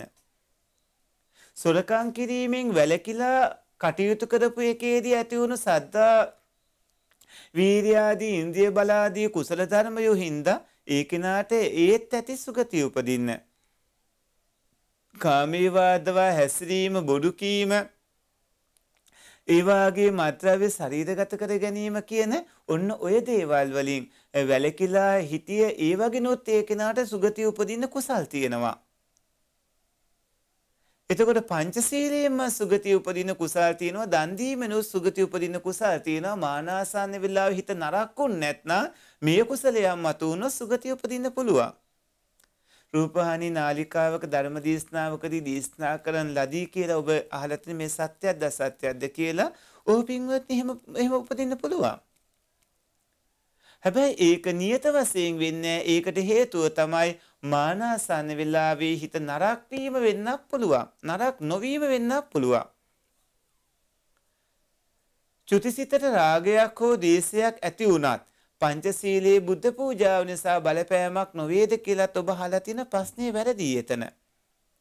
චුතිසිතට රාගයක් හෝ දේශයක් ඇති වෙන්නේ ඒක හේතුය දෙන්නේ නැහනේ. චුතිසිත කියන එක තේරුම් ගන්න එක භවයක අන්තිමට ඇතිවන හිත. ඒ හිත ඇවිල්ලා විපාක සිත්යක් විතරයි. ඒකට නව කර්ම රැස් කරන්න හැකියාවක් නැහැ. නව කර්ම රැස් කරන්න හැකියාව තියෙන්නේ චුතිසිතේට කලින් ඇතිවන ජවන් සිත්වලට. චුතිසිත කියන එක හුඟක් අය පටලවාගෙන ඉන්නේ. හුඟක් අය චුති චුතිසිත හොඳ කරන්න හදන චුතිසිත යහපත් එකක් කරන්න හදන විපාක විඥානයක් කොහොමද හේතු යෙත්න තත්ත්වයටපත් කරගන්නේ පින්වත්නි ඒ විපාක විඥානය විපාක විඥානයක් හින්දා. විපාක විඤ්ඤාණයේ හේතු යෙදෙන්නේ සත්පුරුෂ පින්වත්නි ඒ ඇති වුණු කුසල හෝ අකුසල හිතට ගැලපෙන විදිහට කුසාසිතට ගැලපෙන විදිහට. කුසාසිතට ගැලපෙන විදිහට ඇතිවන හේතු යෙත්න විඥානයක ඒ විපාක විඥානයම අහපව කුසාසිත බවට පත් කරන්න කොහොමද ඒ කියන්නේ මේ අන්තිම හිත චුතිසිත. ඒ නිසා ඒක එහෙම තේරුම් ගන්න චුතිසිත පිළිබඳ මේ වැරදි අදහසක් ඇති කරගෙන තියෙන්නේ චුතිසිත රාගයක් ද්වේෂයක් ඇතිවීම කියන කාරණාවක් වෙන්නේ නැහැ. චුතිසිත සම්පූර්ණයෙන්ම පින්වත්නි ඒ භවයේ අවසන් කරන විඥානයේ ඊට කලින් ඇතිවන ඒ ජවන් සිත් අනුව තමයි ඊළඟ භවයේ ප්‍රතිසන්දියට අදාළ විපාක සැකසෙන්නේ. සත්පුරුෂ පින්වත්නි ඊළඟට අහලා තියෙන ප්‍රශ්නේ තමයි තෙරුවන් සරණයි ස්වාමින් වහන්සේ. පහත අදහස් මා තේරුම්ගෙන ඇති ආකාරයේ වැරදි නම් ඒවා නිවැරදි විය යුතු ආකාරයේ එක හා දෙක ලෙස ගෙන පැහැදිලි කර දෙන්න ස්වාමින් වහන්සේ එක. සාරාසංඛ්‍ය කල්පලක්ෂේ මහා කල්ප අසංකේය හතරක් හා තවත් කල්ප ලක්ෂයක් ලෙස. සාරාසංඛ්‍ය කිව්වහම අසංඛ්‍ය කල්ප හතරක් හා ලක්ෂයක්. ඒ කියන්නේ අසංඛ්‍ය හතරකුත් කල්ප ලක්ෂයක්. සාරාසංඛ්‍ය කල්පලක්ෂය කියන්නේ අසංඛ්‍ය හතරකුත් කල්පලක්ෂයක් කියන එකට. මහා කල්ප එකකට අන්තක් කල්ප 64 ඒවා. හතරක් තිබෙන ලෙස. පින්වත්නි අන්තක් කල්ප අසංඛ්‍ය කල්ප මහා කල්ප කියලා කල්ප තුනක් තියෙනවානේ. මිනිස්සෙන්ගේ ආයුෂ ටිකෙන් ටික පිරිහිලා අවුරුදු 10 දක්වා පරමායුෂ වෙලා අහපව පින්වත්නි වැඩෙනවා. එතකොට අහපව පරමායුෂ ටිකෙන් ටික ටිකෙන් ටික වැඩි වෙලා අසංඛ්‍ය දක්වා වැඩි වෙනවා. අහපව ඊට පස්සේ පරමායස අඩු වෙනවා. මිනිස්සෙන්ගේ ආයුෂ අවුරුදු 10 පටන් අරගෙන අසංඛ්‍ය දක්වා වැඩි වෙලා අහපව 10 දක්වා අඩු වෙන්නේ යන කාලයට හඳුන්වන්නේ අපි පරමායුෂ කියලා. එතකොට ඒ මේ අවුරුදු 10 ඉඳලා අසංඛ්‍ය දක්වා වැඩි වෙලා අහපව 10 දක්වා අඩු වෙන්නේ යන කාලේ අසංඛ්‍යයක්. මේ අසංඛ්‍යයක් නෙමෙයි ඒක අන්තක් කල්පයක්. එතකොට පින්වත්නි අවුරුදු 10 ඉඳන් ගණන් කරන්න බැරි තරම් වැඩි වෙලා ඊට පස්සේ අහපෝ අවුරුදු 10 දක්වා අඩු වෙන ඒ කාලයේ අන්තක් කල්පයක්. මිනිස් අවුරුදු 10 සිට අසංඛ්‍ය දක්වා වැඩි වෙලා 10 දක්වා අඩු වෙන්න යන අසංඛ්‍ය කල්ප ගත්තාම ඒ වගේ කල්ප හතරක් සංවාතයේ සංවාතස්ථායි විවාතේ විවාතස්ථායි කියලා අපිට හම්බ වෙනවා. ගින්නෙන් ඒ වගේම සුළඟින් මේ පෘථිවි විනාශ වෙනවානේ වාතයෙන් එහෙම. එතකොට විනාශ වෙලා නැවත සැකසෙනවා. එතකොට මේ අසංඛ්‍ය කල්ප හතරක් ගත්තාම අන්තක් කල්ප වලින් අපි අර කිව්ව ප්‍රමාණය අන්තක් කල්ප පින්වත්නි අර වගේ මේ වැඩි වෙලා ඒක අසංඛ්‍ය කල්පයක් වෙනවා. එතකොට අසංඛ්‍ය කල්ප හතරක් කියලා කියන්නේ මහා කල්පයක්. එතකොට අසංඛ්‍ය කල්පයක ප්‍රමාණය අන්තක් කල්ප 20ක්. මහා කල්පයේ ප්‍රමාණය අන්තක් කල්ප 80ක් වෙනවා. මහා කල්පයක් කොච්චරද කියලා ඇහුවොත් ඒක අන්තක් කල්ප 80යි. එතකොට මහා කල්පයක් වෙන්නට අසංඛ්‍ය කල්ප මේ අසංඛ්‍ය කල්ප හතරක් වෙන්න ඕන මහා කල්පයක් වෙන්න. ඒ විදිහට ඒක තේරුම් ගන්න අසංඛ්‍ය කල්ප හතරක් මහා කල්පයක් වෙනවා අසංඛ්‍ය කල්පයක ප්‍රමාණය අන්තක් කල්ප 20ක් වෙනවා. එතකොට හතරක් කියන්නේ මහා කල්පයේ ප්‍රමාණය අන්තක් කල්ප 80යි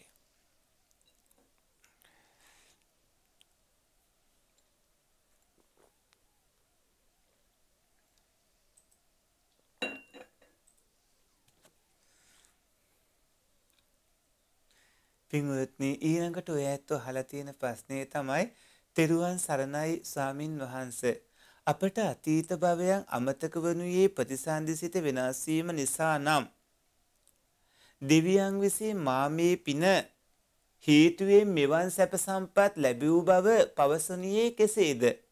නිර්සතුන්ද තමන්ට නිරෙහි දුක් විඳීමට සිදු වූ තමා කළ අකුසල කර්මය දන්නේහිද?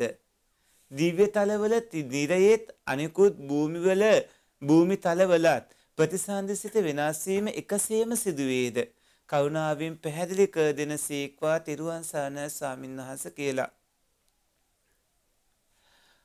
අතීත භවයන් අමතක වනුයේ ප්‍රතිසන්දිසිත වෙනස් වීම නිසා නම් දෙවියන් විසින් මා මේ පින හේතුවෙන් මෙවන් සැප සම්පත් ලැබූ බව පැවසුනියේ කෙසේද කියලා ඇහුවොත් අතීත භවයන් අමතක වෙන්නේ ප්‍රතිසන්දිසිත වෙනස් වීම නිසා එක හේතුවක්.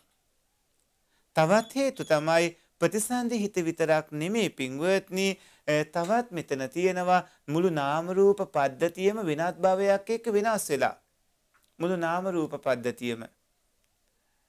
එතකොට දෙවියන්ට නම් තමන් කොහොමද ඒ විදිහට සැප සම්පත් ලබන්නේ කියන එක මෙච්චර සැප සම්පත් ලැබුවේ කියන එක බලන්න පුළුවන් වෙන්නේ දෙවියන්ගේ පෙර බව සිහි කිරීමේ නුවණ හින්දා.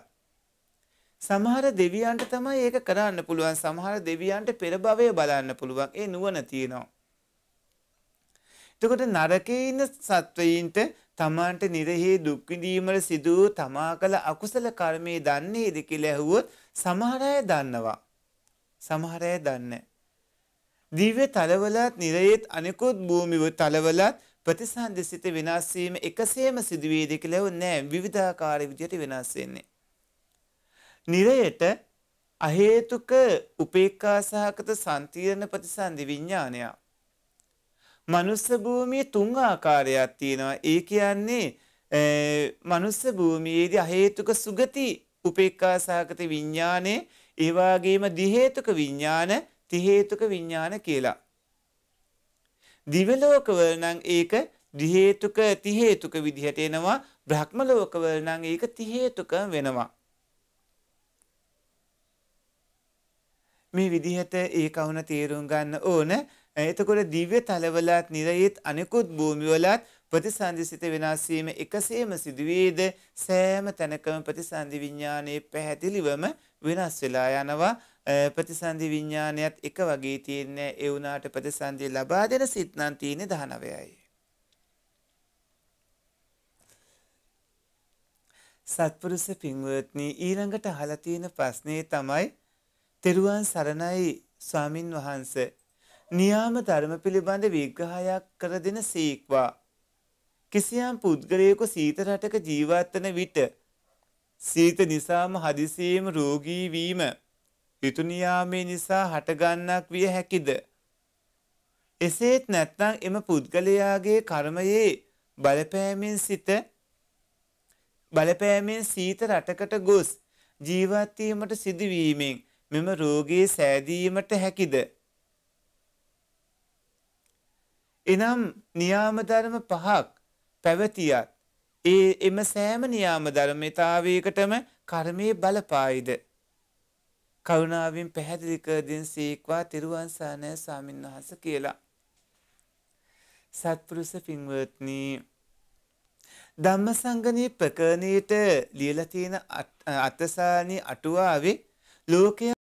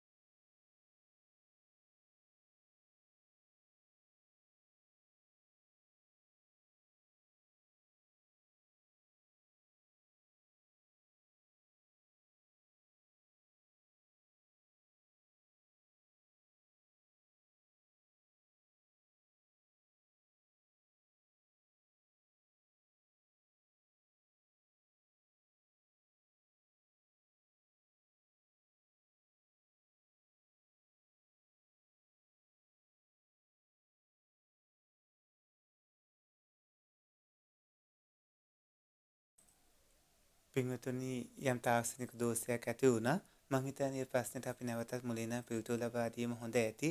මොකද මං හිතන්නේ ඕකට ප්‍රශ්න ඇහෙන්නේ නැතුව ඇති. අවසරයි ගෞරවනීය පින්වත් ස්වාමින් වහන්සේ. පළමුව පින්වත් ඔබ වහන්සේට මේ නව වසර නිදුක් නිරෝගී සුව දීර්ඝායු සම්පන්නිය සපිරි සුබ නව වසරක් වේවායි ප්‍රාර්ථනා කරමි. ස්වාමින් වහන්සේ අප මහ බෝසතාණන් භූමැඩදී සම්බෝධි රාජ්‍ය ලබන විට ආර්යයන් වහන්සේලා මේ ලෝක ධාතුවේ වැඩ සිටියේද? එනම් චතුරාර්ය සත්‍ය ධර්මයේ ඒවන විටත් ලෝ පැවතියේද? එසේ ආර්යයන් වහන්සේලා වැඩ සිටියේ නොමැති බව දේශනාවකදී අසන්නට ලැබුණා. එනමුත් සහම්පති බ්‍රහ්මරාජයා ගටිකාර බ්‍රහ්මරාජයා මේ වන විටත් මගපල්ලාභීම් බව අසා ඇත. මේ කවුන කරුණාවෙන් පහදා දෙනු මැනවි. ඔබ වහන්සේ පතන්නා වූ බෝධියකින්ම චතුරාර්ය සත්‍ය ධර්මය අවබෝධ කරගනිත්වා තෙරුවන් සරණයි කියලා. සත්පුරුෂ පින්වත්නි අපමා බෝධිසත්වයන් වහන්සේ භූමැඩදී සම්බෝධි රාජ්‍ය ලබන විට මේ ලෝකේ ආර්යයන් වහන්සේලා වැඩ හිටියා. ඒ වැඩ හිටියේ මනුස්ස ලෝකෙ නෙමෙයි. චාතුරු මහරාජික තාවතින්ස යාමතුස්ත නිර්මාරති පානීමිත වසවරත දිව ලෝකවල නෙමෙයි. ඒ වැඩ හිටියේ බ්‍රහ්ම පාරිසජ්ජාදී බ්‍රහ්ම ලෝකවලත් නෙමෙයි. ඒ වැඩ හිටියේ මහා කල්ප දහසක් වන අවිහේ දෙදහසක් වන අතප්පේ හාරදහසක් වන සුදස්සේ එතකොට අටදහසක් වන සුදස්සියේ ඒ වගේම දහසේ දහසක් වන උද්දන්සෝත අකනිට්ටගාමිය. ඔන්න ඔය තැන්වල හිටියා. ඒ කියන්නේ කාශ්‍යප බුදුරජාණන් වහන්සේගෙන් පස්සේනේ අපේ ගෞතම ලෝතුරා කාන්තිමත් ලෝකුරු බුදුරජාණන් වහන්සේ පහළ වුණේ. අර පංච සුද්ධාවාසවල හිටිය ගටිකාර බ්‍රහ්මයා වගේ උත්තමයෝ. කාශ්‍යප බුදුරජාණන් වහන්සේගේ ශාසනයේදී හිටිය යහළුවෙක්. නමුත් දීවලෝකාදී අපිට හම්බ වෙන්නේ මගපල්ලාභී කෙනෙක් හිටිය බවට. ආර්යයන් වහන්සේලා මේ ලෝධාත්වයේ වැඩ හිටිය අර කිව්ව පංච සුද්ධාවාසවල. චතුරාර්ය සත්‍ය ධර්මයේ ඒවන විටත් ලෝ පැවතියේද මනුස්ස චාතුරු මහරජික තැන්වල මේ බ්‍රහ්ම ලෝකවල කොහෙවත් පැවතියේ නැහැ. හැබැයි පින්වත්නි පංච සුද්ධාවාසවල මගපල්ලාභී උතුමන් චතුරාර්ය සත්‍ය ධර්මය අවබෝධ කර ගනිමින් කටයුතු කළ අනාගාමී සහ රහතන් වහන්සේලා. එතකොට එසේ ආර්යයන් වහන්සේලා වැඩ සිටියේ නොමැති බව දේශනාවකදී අසන්න ලැබුණ ඒ දේශනාව වැරදි එකක්. මොකද ආර්යයන් වහන්සේලා වැඩ සිටියා. වැඩ සිටියා පින්වත්නි ආර්යයන් වහන්සේලා හැබැයි සුද්ධාවාසවල වැඩ හිටියේ මනුස්ස ආදී තැන්වල වැඩ හිටියේ නැහැ. මොකද අපි මාතාංග පසේ බුදුරජාණන් වහන්සේත් මහබෝධිසත්වයන් වහන්සේ පහළ වෙනකොට හිටියානේ. ඒ කියන්නේ ඉපදුණු බව දැනගෙන පිරිනුවම් පාන්නේ. මේ එතකොට කාලය අවසන්නේ. ඒ වගේම එනමු සහම්පති බ්‍රහ්මරාජයා ගටිකාර බ්‍රහ්මරාජයා ඒ වන විටත් මගපල් ලාභීම් බව අසා ඇත ඒ සත්‍යයක්. ඒ සහම්පති බ්‍රහ්ම රාජ්‍යය ගටිකාර බ්‍රහ්ම රාජ්‍යය වුණත් ඒ වෙනකොටත් ධර්මාභූති ලබල හිටිය පුුණ්‍යවන්ත පිරිසක්.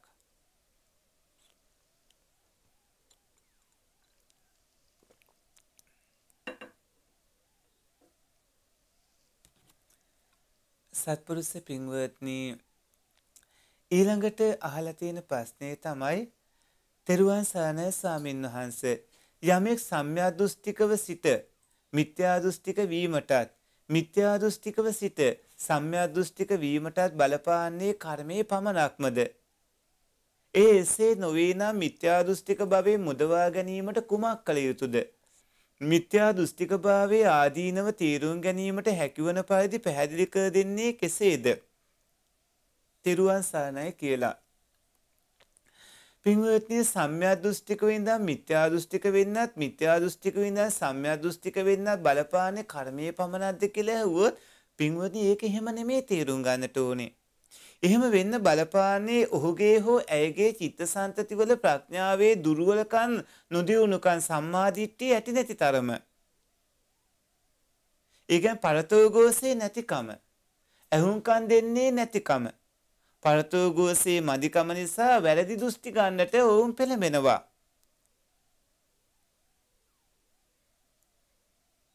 එතකොට මිත්‍යා දෘෂ්ටික භවෙන් මුදවා ගැනීමට කුමක් කළ යුතුද? මිත්‍යා දෘෂ්ටික භවෙන් මුදවා ගන්නට ඔවුන්ට කරුණා මෛත්‍රිය දක්වමින් ඔවුන්ට නිවැරදි මඟ නිවැරදි ඇසුර ලබා දෙන්න වෙනවා. මිත්‍යා දෘෂ්ටික භාවයේ ආදීනව තීරුම් ගැනීමට ඔය ඇත්තෝ පින්වත්නි දිට්ඨිය කියන චෛතසිකය ඉගෙන ගන්න වෙනවා. දිට්ඨිය කියන චෛතසිකයට යන්න ඒ චෛතසික යෙදෙන හිත් මොනවද කියලා බලන්න ඒ යෙදෙන හිත් ඔය ඇත්තන්ට හම්බ වේවි ලෝභ මූල සිත්වල එහෙම කොයි කොයි හිත්ද කියලා දිට්ඨිගත සම්පයුත්ත හිත් දිට්ඨිගත විප්පයුත්ත හිත් වලින් දිට්ඨිගත සම්පයුත්ත හිත් වලට යන්න ඒ ඔස්සේ ඔය ඇත්ත හොයාගෙන යනකොට ඔබට පේනවා මේක සිදුවන ආකාරයේ. මිත්‍යා දෘෂ්ටිය සමග යෙත්න සිත් පින්වත්නි අතිශයින්ම මේ නරක ප්‍රතිපල තමයි නරක විපාක තමයි ඇති කරන්නේ. මිත්‍යා දෘෂ්ටිය සමග යෙත්න දිට්ඨිගත සම්පයුත්ත හිත්. මිත්‍යා දෘෂ්ටිය ඔය ඇත්තන්ට ඒකාන්තේම නරකේ උප්පත්ති ලබා දෙන වෑදි දැක්මක් තියෙන හින්දා ඔබ සතුන් මානවා සතුන් මරපු හින්දා අඩුවා විසින් මැරෙනවා අතපය කැඩෙන්න බිඳෙන්න හේතුවක් වෙනවා. වෑදි දැක්මක් තියෙන නිසා ඔය ඇතු සොරකම් කරනවා කාමයේ වාදව ඇසෙනවා බුදු කියනවා කේලාම් කියනවා සැරපසවත් හිස්වත් ආදී කතා කරනවා. ඒ වැරදි දැක්මක් තිබ්බ හින්දා දැක්ම වැරදි වුණාට කර්මය ඔය ඇත්තන්ගේ නාම රූප වලටයි. ඒ නිසා මිත්‍යා දෘෂ්ටි අතිශයින්ම භයානකයි. ඒ සෑම සිතක් පාසාම අකුසල් නාම රූප වලට රැස්වන හින්දා. සත්පුරුෂ පින්වත්නි ඊළඟට අහලා තියෙන ප්‍රශ්නේ තමයි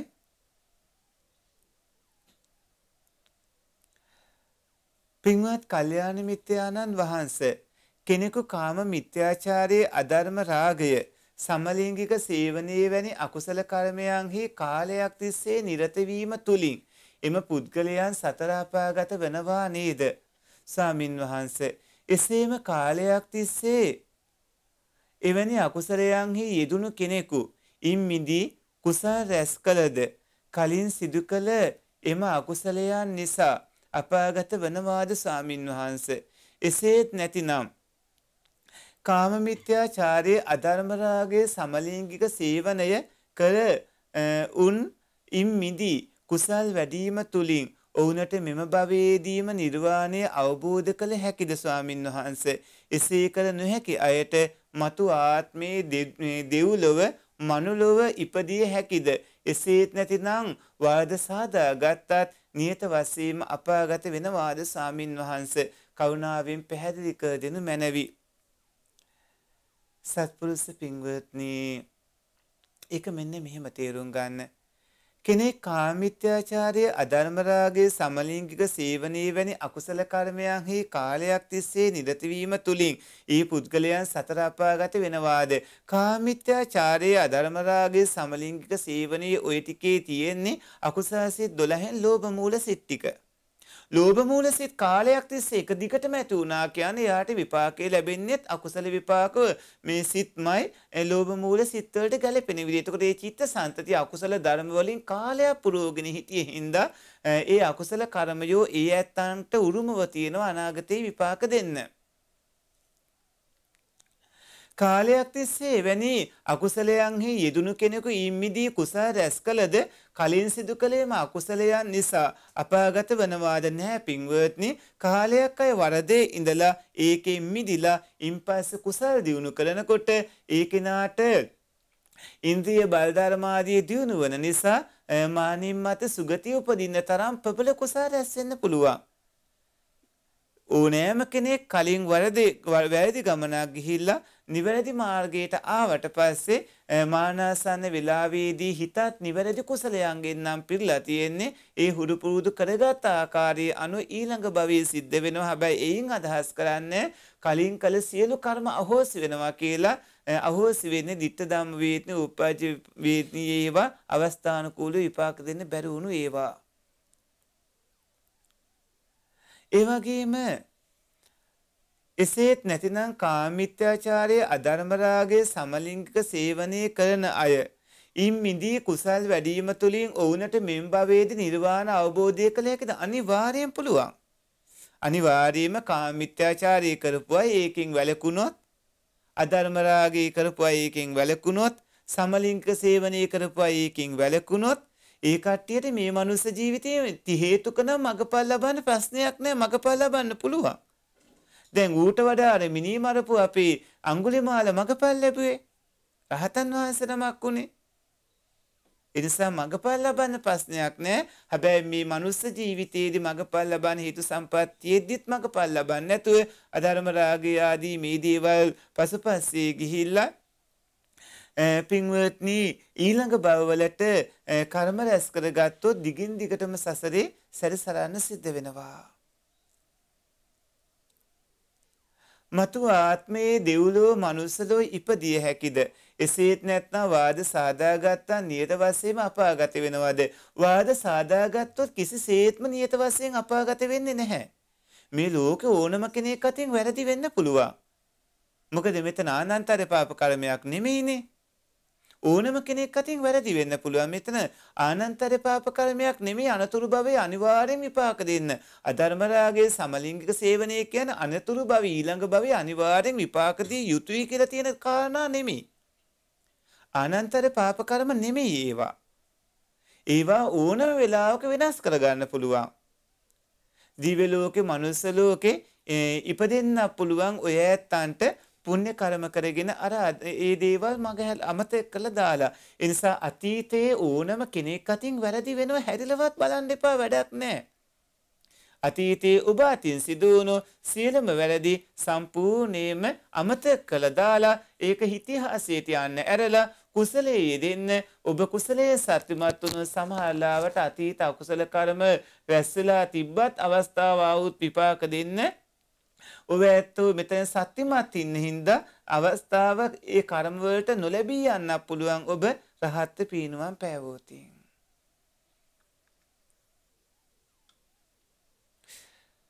ඊළඟට අහලා තියෙන ප්‍රශ්නේ තමයි අවසරයි පින්වත් ස්වාමින් වහන්සේ.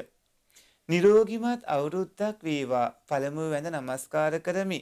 සාමින්වහන්ස කිරි අම්මාවරුන්ට දෙන දානය ගැන පහදා දෙන සේක්වා පත්තිනි මෑණියන්ට තෙරුවන් සරණයි සාමින්වහන්ස කියලා. පින්වත්නි එක එක පළාත්වල ඒ පිළිබඳ චාරිත්‍ර වෙන සමහර තැන්වල නම් කිරි දෙමින් ඉන්න අම්මලා තමයි හොයාගන්නේ. සමහර තැන්වල කිරි දීලා වයසට ගිය ඒ පින්වන්ත අම්මලා වඩම්මව ගන්නවා.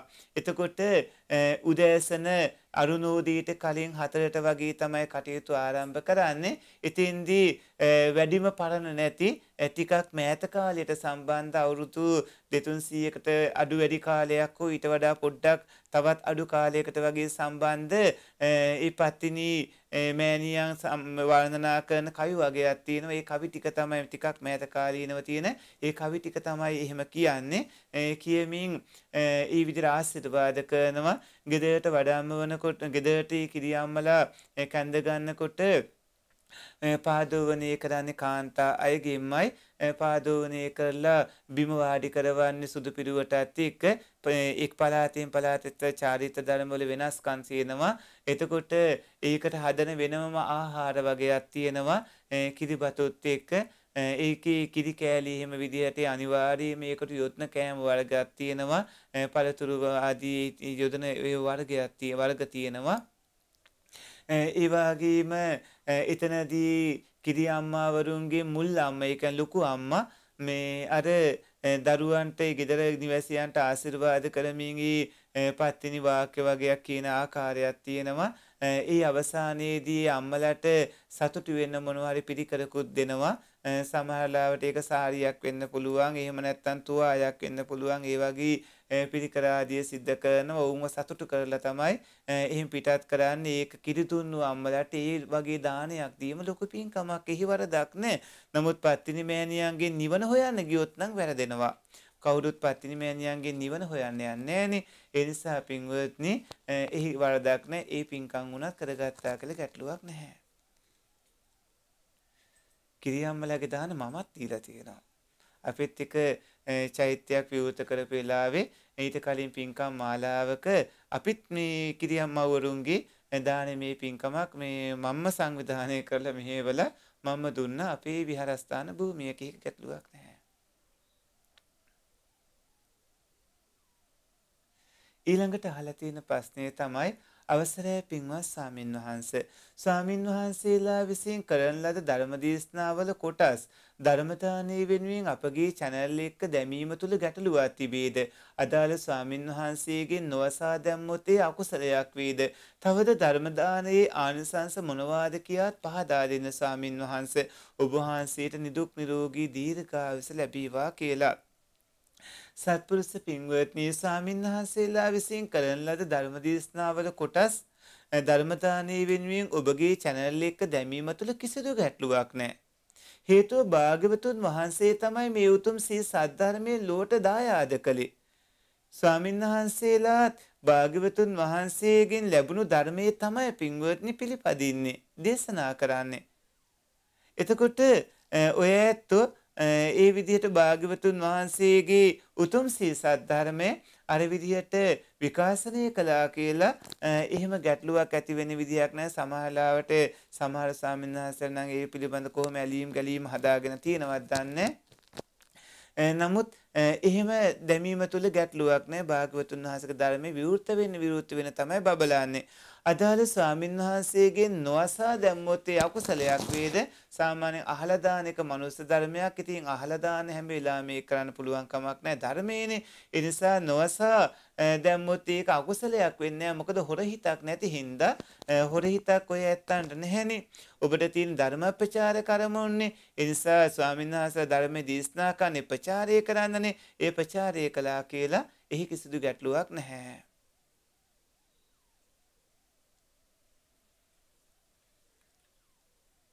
ඒ වගේම ධර්මදානයේ ආනිසංස අහලා තියෙනවා ධර්මදානයේ ආනිසංස නම් පින්වතුන් වාදනා කළ අවසන් කරන්නට බැරි තරම් ධර්මදානය කියන්නේ හැම දානයකටම වඩා ශ්‍රේෂ්ඨ එක බණපදයක් තවත් කෙනෙක්ට අහන්න සලස්සලා ඔහුගේ ජීවිතයේ සුවපත් කිරීම උනත් ඔය ඇත්තන්ගේ ජීවිත බව ගණනාවක් පුරාම සුවපත් වෙන්නට හේතුවක් වෙනවා. එහි ආනිසංස නම් අසීමාන්තිකයි. ඊළඟට අහලා තියෙන ප්‍රශ්නේ තමයි අවසරයි අපේ හාමුදුරුවනේ යම් කෙනෙකු නිවන අවබෝධ කර ගැනීමට අවශ්‍යයි නම් ඔහු සම්පූර්ණ කළ යුතු වැඩපිළිවෙල ආර්ය අෂ්ටායක මාර්ගයේ වේ. නමුත් එක තැනක පංච බල උපදවා ගත යුතු බවද තව තැනක සෝතාපට්ටි අංග වැඩි යුතු බවද තව තැනක සප්තවිසුද්ධිය බවද සඳහන් වේ. මේවායින් ඉක්මනින් සත්‍ය අවබෝධය සඳහා සම්පූර්ණ කළ යුත්තේ කුමක්ද? මාර්ගයේ සම්පූර්ණ වීමේදී පංච බල සප්තවිසුද්ධි සෝතාපට්ටි අංග සම්පූර්ණ වේද? නැතිනම් මාර්ගය සම්පූර්ණ කිරීමට ඒවා උපකාරි වේද කියලා. සත්පුරුෂ පින්වත්නි මගඵල නිවන් දකින්නට අනුගමනය කරන්න ඕන ප්‍රතිපදා මාර්ගය ආර්යෂ්ඨායක මාර්ගයමයි. ආර්යෂ්ඨායක මාර්ගයම තමයි තියෙන වෙන ක්‍රමයක් නැහැ. එක තැනක පංච බල උපදවා ගත යුතු බවද? තව තැනක සෝතාපට්ටි අංග වැඩි යුතු බවද තව තැනක සප්තවිසුද්ධිය බව සඳ ඕ එහෙම සඳහන්. ඉතින් ඒ ඔක්කොම ආර්ය අෂ්ටාංගික මාර්ග ප්‍රතිපදාවට අනුගත වෙන තියෙන්නේ. පංච බල කියන්නේ මේ පංච ඉන්ද්‍රිය ධර්ම එහෙම කියලා කියන්නේ සතර සතිපට්ඨානය සතර සම්‍යක් ප්‍රදං වීර්ය පංච ඉන්ද්‍රිය පංච බල බුද්ධංග ආර්ය අෂ්ටාංගික මාර්ග අංග කියන්නේ මේ බෝධිපාසක ධර්ම මගපල් ලබන වෙලාවේ චිත්තසංතතිය ওই ධර්ම 37 එකට ඒත්නවා. එතකොට එකට යෙදෙමින් දියුණු වීගෙන එද්දි තමයි සෝතාපට්ටි අංගෙහිම වැඩෙන්න පටන් ගන්නෙ.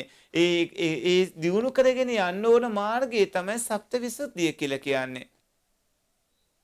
මේව ඔක්කොම එකිනෙකට සම්බන්ධ කාරණා.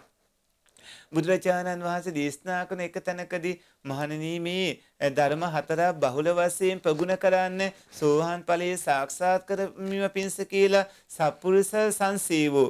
සත්පුරුෂයන් ඇසුරු කරන්න සද්ධම්ම සවන සද්ධර්මයේ සවනය කරන්න යෝනිසෝ මනසිකාරය යෝනිසෝ මනසිකාරය ඇතුව කටයුතු කරන්න ධම්මානුධම්ම ප්‍රතිපත්තා ධම්මානුධර්ම ප්‍රතිපදාවෙන් යුක්තව කටයුතු කරන්න. ඵලසූත් එහෙම සඳහන් වෙනවානේ. මේ විදිහට පින්වත්නි ඔය ඇත්තෝ පංච බල සත්ත්ව විසුද්ධි සෝතාපට්ටි අංග ආදී සම්පූර්ණ වන ආකාරයේ තීරුම් අරගන්නට ඕන ආර්යෂ්ටායක මාර්ගයේ පිළිපදිමින් ඒ සියල්ල අනුගමනය කරනකොට කොහොමත් පින්වත්නි මෙන්න මේ කියන ධර්මතා ඔක්කොම ඒක සප්තවිසුද්ධි සෝතාපට්ටි මේ අංග ආදී මේ පංච බල ආදී සියල්ලම වැඩෙන්න පටන් ගන්නවා. ඊළඟට අහලා තියෙන ප්‍රශ්නේ ස්වාමින් වහන්සේ අපි මෙලොවට එනකොටම අපේ මානය වන දිනේ නියම වෙලාද තියෙන්නේ මානයට ගහයෝ බලපානවද කිසිසේත්ම නෑ පින්වත්නි. ඔය ඇත්තෝ මෙලොවට එනකොටම ඔබේ මරණය වන දිනේ නිය වෙලා නැහැ. ඒක අඩු වැඩි වෙන්න පුළුවන්. නමුත් ඔය ඇත්තන්ට කර්ම විපාක කාලයක් තියෙනවා. නමුත් පින්වත්නි එහෙම දිනේ වෙනස් වෙලා එතකොට ඒ දිනය නියම වෙලා නැහැ. ඔබේ මරණයට පත්වන දවස කවද්ද කියලා. මානයට ගහයෝ බලපානවද කියලා ඇහුවොත් පින්වත්නි ගහයෝ ඔබේ මානයට බලපාන්නේ ගහයන්ගේ මානයට ඔබ බලපාන නම් පුළුවන් ගහලෝකයක් පුපුරන්න මොන හරි විද්දොත් ඒ ගහයෝ අලුදූලි වන කාලෙට ඒවාට බලපාන මිනිස්සුද කියලා කල්පනා කරලා බලන්න පින්වත්නි නමුත් Eh, මේ ගෲප් මේ ගුරුත්වයේ සහ ඒ යම් යම් කවුණු කාරණා ඒ විදිහ තියෙන බවත් තේරුම් ගන්නට ඕනේ ඊළඟට අහලා තියෙන ප්‍රශ්නේ තිරුවන් සරණයි සාමින් වහන්සේ. ප්‍රඥා අධික බුදුරජාණන් වහන්සේලාටත් සද්ධාව අධික බුදුරජාණන් වහන්සේලාත් වීර්යාධික බුදුරජාණන් වහන්සේලාත් අතර ඇති සුවිශේෂීත්වය මොනවාද වෙනස්කම් මොනවාද? එසේම අප ගෞතම බුදුරජාණන් වහන්සේ ඒ අතරින් කෙබඳු ලක්ෂණය සහිත බුදුරජාණන් වහන්සේ නමක්ද ඔබ වහන්සේටත් හැමටත් රටටත් තෙරුවන් සරණයි කියලා. කරුණාවන්ත ගුණබර සත්පුරුෂ පින්වත්නි ප්‍රඥාධික බුදුරජාණන් වහන්සේලාත් සද්ධාවධික බුදුරජාණන් වහන්සේලාත් විරියාධික බුදුරජාණන් වහන්සේලාත් අතර සුවිශේෂී වෙනස්කම් රාශියක් තියෙනවා. ඒ අතර පින්වත්නි ඉන්ද්‍රිය ධර්මයේ මේක වෙනස් වෙලා. දැන් ප්‍රඥාධික බුදුරජාණන් වහන්සේලාගේ ඉන්ද්‍රිය ධර්මයේ ප්‍රඥාව. සද්ධාධික බුදුරජාණන් වහන්සේලාගේ ඉන්ද්‍රිය ධර්මයේ සද්ධාව. විරියාධික බුදුරජාණන් වහන්සේලාගේ ඉන්ද්‍රිය ධර්මය විරිය. එතකොට ඒ ඒ බුදුරජාණන් වහන්සේලා පුරණ පාරමී කාලයත් ගොඩක් වැඩි. මහා කල්ප 10 මේ කියන්නේ සොළසාසංක කල්පලක්ෂය පාරමිතා පුරනවා විරියාධික බෝසත්යන් වහන්සේලා. අෂ්ටාසංක කල්පලක්ෂය පාරමිතා පුරනවා සද්ධාධික බෝසත්යන් වහන්සේලා. සාරාසංක කල්පලක්ෂය පාරමිතා පුරනවා ප්‍රඥාතික බෝධිසත්වයන් වහන්සේලා මේ බෝධිසත්වයන් වහන්සේලා ඒ තරම් කාලයක් පාරමිතා පුරගෙන එනකොට මොනතරම්නම් පින්දහම් සිදු කරගෙන මොනතරම්නම් කර්මයේ සන්නද්ධ වෙනවද එතකොට පින්වත්නි ඒ බුදුරජාණන් වහන්සේලා පහළ වුණාට පස්සේ ඒ භාග්‍යවතුන් වහන්සේලාගේ වැඩ ඉන්න කාලයත් ශාසනයේ විනය ආදී කවුණු කාරණාත් නවංග සතු ශාසනය ආදී ඒ කවුණුත් පින්වත්නි දේශනා වන නොවන විදිහක් තියෙනවා. කෙටි කාලයක් පාරමිතා පුරන බෝසතාණන් වහන්සේලා ශාසන අඩු ආයුෂ ඇති කාලවල පහළ වෙනවා.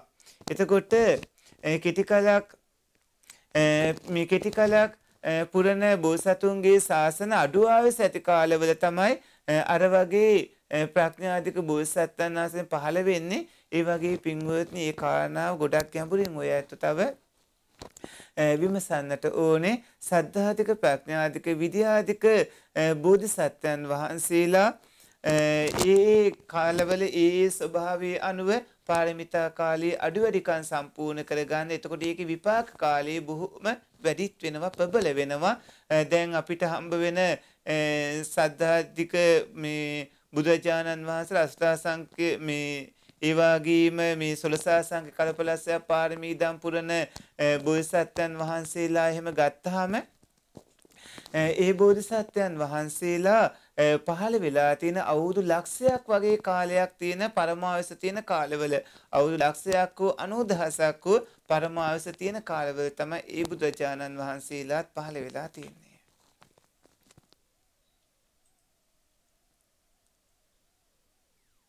ඊළඟට අහලා තියෙන ප්‍රශ්නය තමයි අවසරයි පින්වත් සාමින් වහන්සේ බොහෝ නිවෙස්වල බොහෝ විට ප්‍රනීත ආහාර පාන සකසන්නේ සවස හෝ රාත්‍රී කාලයේදී.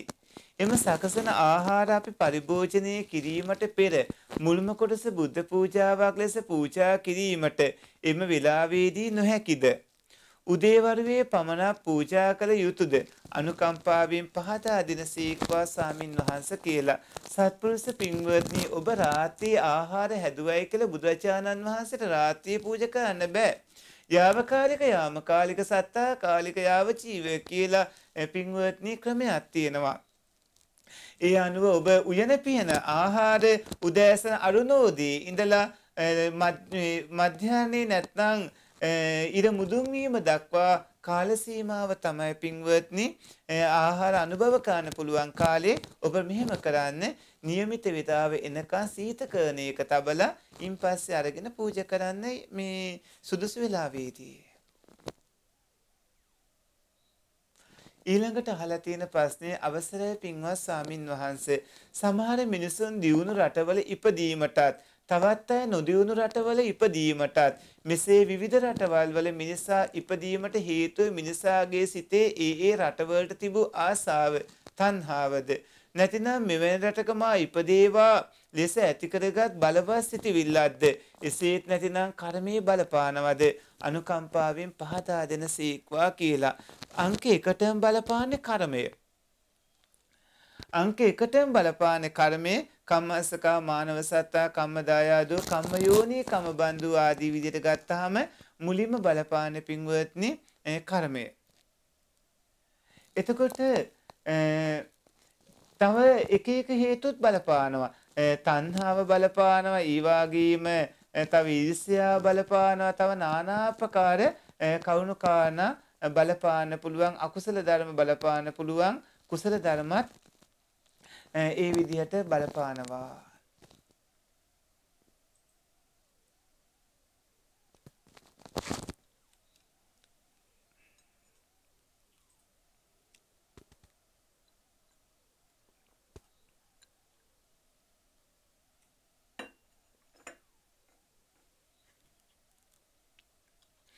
ඊළඟට අහලා තියෙන ප්‍රශ්නය තමයි අවසරයි ස්වාමින් වහන්සේ සත්වයා සසර ගමන් කරන්නේ කර්මය නිසාද?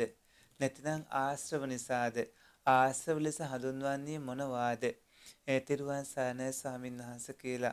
සත්වයා සසර ගමන් කරන්නේ කර්මය ආශ්‍රව ඔය කෙලෙස් ඔක්කොම හින්දා. අවිද්‍යා තණ්හාදිය නිසා. කර්මය කියන්නේ හිතයි හිතේ යෙදෙන චෛතසිකයි ඒ ඒ කටයුතු වල යොදවා යන ශක්තියට නමක්.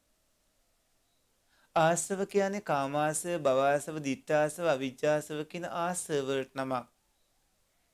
එතකොට පල්ලෙවි උමතුන් වගේ පවතින මේ ආශ්‍රව ධර්මයෝ සාමුලින්ම නසන්න කටයුතු කර ගන්නට ඕනේ.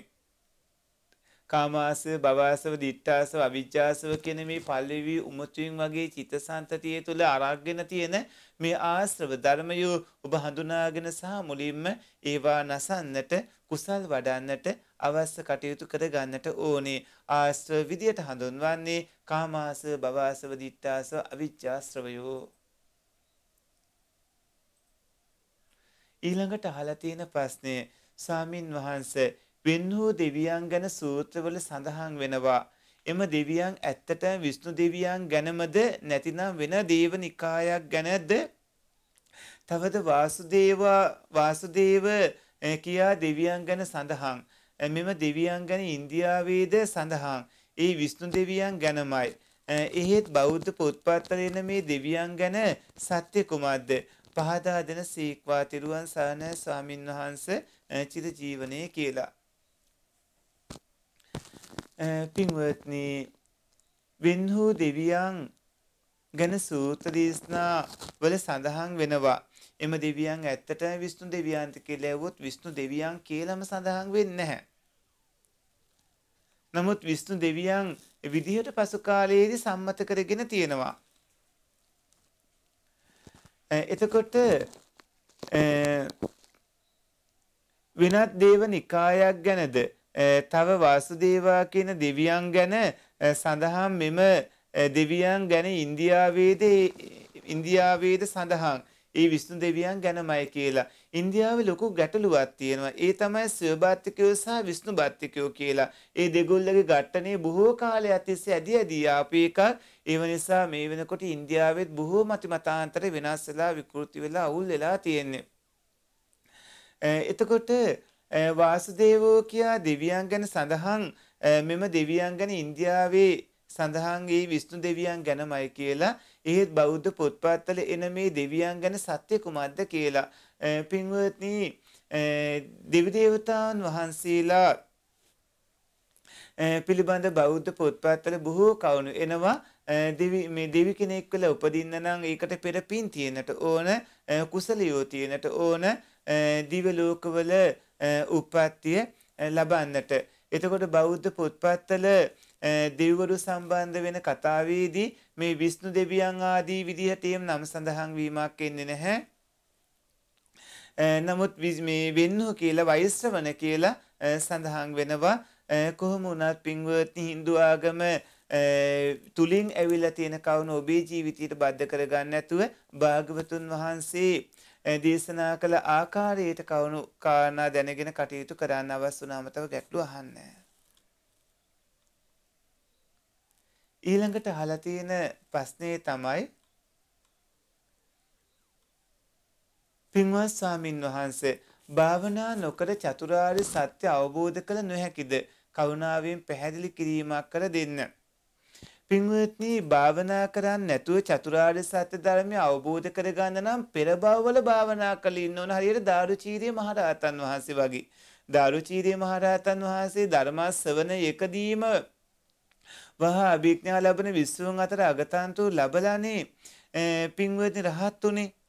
එතකොට ඒකට බලපෑවේ කාශ්‍යප බුදුරජාණන් වහන්සේගේ ශාසනය අවුරුදු 20000ක් කල් භාවනා වඩමින් පින්බරව ගත කළා.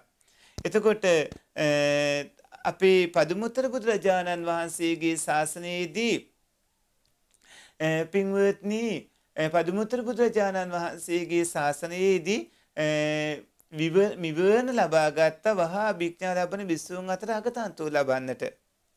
මේ විදිහට භාවනා නොකර චතුරාර්ය සත්‍ය ධර්ම අවබෝධ කරගන්න නම් දැන් භාවනා නොකලට කලින් භවවල කරගෙන ඉන්න වෙනවා.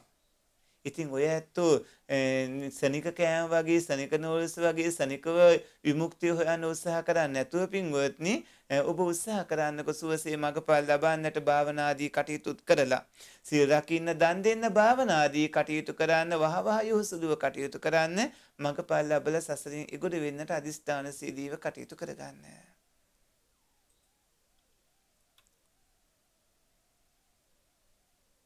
ඊළඟට අහලා තියෙන ප්‍රශ්නය තමයි අවසරය පින්වත් ස්වාමින් වහන්සේ චිත්ත වීතියක වොත්තපන සිතතෙක් අපගේ අන්දනුමකින් තොරව සිදුවන බවම අසා ඇත.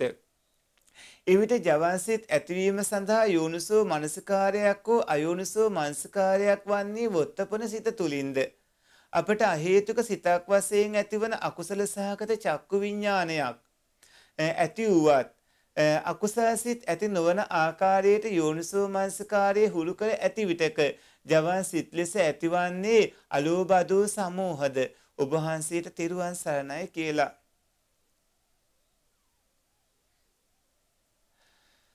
සත්පුරුෂ පින්වත්නි මේ ඔක්කොම නාම රූප ධර්මයෝ එකිනෙක එකිනෙක කරුණු වලට හේතුපත් වෙනවා. මේ නාම රූප ධර්මයෝ පින්වත්නි රූප නාම වලටත් නාම රූප වලටත් පත්‍ය ධර්ම බවට පත් වෙනවා. දැන් ජවන්සිත ඇතිවීම සඳහා යෝනිසෝ මනසකාරයත් අයෝනිසෝ මනසකාරයත් වන්නේ බොත්තපන හිත තුලින්ද කියලා ඇහුවොත් පින්වත්නි එතනදී යෝනිසෝ මනසකාරයක් හෝ අයෝනිසෝ මනසකාරයක් හෝ ඇති වෙන්නේ වොත්තපන සිත තුලින්ද කියලා එනකොට ඒකට ලොකු ක්‍රියාවලියක් එනවා. වොත්තපන හිතට කලින් ඇතිවෙන්නට ඕන සිත් තමයි සන්තීරණ ඒක වගේම සම්පටිච්චන. ඒ වගේම ඊට කලින් චක්කු විඤ්ඤාණ මේ විදිහට එක දිගට කටයුතු වෙනකොට ඒ චිත්ත සන්තතිවල ඉන්ද්‍රිය බල ධර්මාදී විද දියුණු කළ තියෙන කුසල පක්ෂයයි අකුසල පක්ෂයයි ඒ විදිහට පින්වද සිදුවන වැඩපිළිවෙලකුත් තියෙනවා. අහේතුක සිතක් වශයෙන් ඇතිවන අකුසල සහගත චක්කු විඥානයක් ඇති වුවත් අකුසල සිත් ඇති නොවන ආකාරයට යෝනිසෝ මනසකාරයේ හුරු කර ඇති විටක ජවන් සිත් ලෙස ඇති වෙන්නේ අලෝභ දෝස අමෝහද කියලා අහලා තියෙනවා.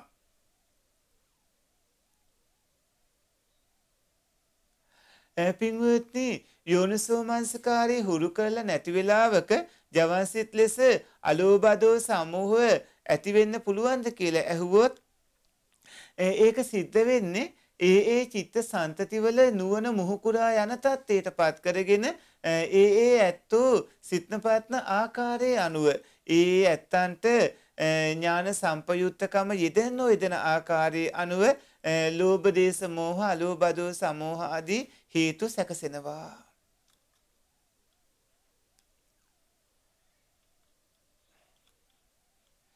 ඊළඟට අහලා තියෙන ප්‍රශ්නය තමයි අවසරයි පින්වත් සාමින් වහන්සේ. යම් කුසලයක් තිහේතුක උත්කෘෂ්ට නොවීමට බලපාන කවුන මොනවාද? ඒ වගේම ස්වාමින් වහන්සේ බුදුගුණ සත්‍යක්‍රියාවක් රෝගී වූ කෙනෙකුට සෙත් පැතිය හැකිද? නිවැරදිවම සත්‍යක්‍රියාවක් කරන ආකාරයේ පහදා දෙන්න ස්වාමින් වහන්සේ ඔබ වහන්සේට දීර්ඝායුෂ ලැබේවා කියලා. යම් කුසලයක් තිහේතුක උත්කෘෂ්ට නොවීමට බලපාන කාරණා තියෙනවා. ති හේතුව කිව්වහම මෙතන ඥාන සම්පයුත්තකම අමෝහය අති ප්‍රබල කාරණාවක්. ති හේතුක උත්කෘෂ්ඨනාගේ අමෝහය බොහොම බලවත් වෙන්නට ඕන. එතකොට ඥාන සම්පයුත්ත කුසාසිතක් ඇති වෙන්න මෙන්න මේ කවුරුන් ටික උපකාර වෙනවා. ති හේතුක මහා විපාකසිතකින් ප්‍රතිසන්දිය ලැබීම සද්දා ආදී ධර්මයන්ගේ මේරීම අකුසලයන්ගෙන් දුරු වීම ඈතීම නුවණ වැඩන කටයුතු කිරීම කියන ඔන්න ඔය ටික පින්වත්නි සම්පූර්ණ වෙන්න ඕන මේ කවුණු අඩු වුණොත් එතන ඇති වෙන ඥාන විප්‍රයුක්තව කමක්. ති හේතුක උත්කෘෂ්ඨ ඥාන සම්පයුක්ත කුසාසිත ඇති වෙන්නට මෙන්න මේ කිව්ව කවුණොත් සම්පූර්ණ වෙන්නට ඕන. ඊළඟට අහලා තියෙන ප්‍රශ්නේ තමයි අමාදුර විවර වෙන වර්ෂයක් වේවා සත්පුරුෂ නායක ස්වාමින් වහන්සේ. අපි එදිනෙදා කටයුතු කරන විට සිතට නැගෙන අකුසල් සිතුවිලි වලින් සිත මුදවා ගැනීමට යම් විටක ගාතාවක් හෝ පිරිත් හෝ දහම් කවුණු හිමින් වචන වලින් හෝ මනසින් පවසමින් ගත කරන විට ඒ වාරේ සිතමින් නැවත එම සිටිවිලි එක්ක වෙනත් වෙනත් ලෝභ මෝහ සිටිවිලිද වේගයෙන් සිහි වෙනවා. සමහර වෙලාවට හිතෙනවා මේ දෙවර්ගයේම එකවර කොහොමද සිහි වෙන්නේ කියලා ඒ මිදී අපට අවශ්‍ය දහම් මානසිකාරයේම යෙදෙමින් කටයුතු කරන්නේ කොහොමද පහදා දෙන්න ඔබ වහන්සේට සම්මා සම්බුදු සරණයි කියලා. පින්වත්නි ඔබ එදිනදා ජීවිතයේ කටයුතු කරනකොට ඇතිවන අකුසල්සිත මර්ධනය කරගන්න සනිකවම කුසල් උපදවා ගන්න. කුසල් උපදවාගෙන ගාථා හරි යම් දහම් කවණු හරි එමින් හෙමින් ඔය ඇත්තු සත්‍යයනා කරමින් කටයුතු කරද්දී කුසලයේම පිහිටන්නට හිත හුරු වේවි.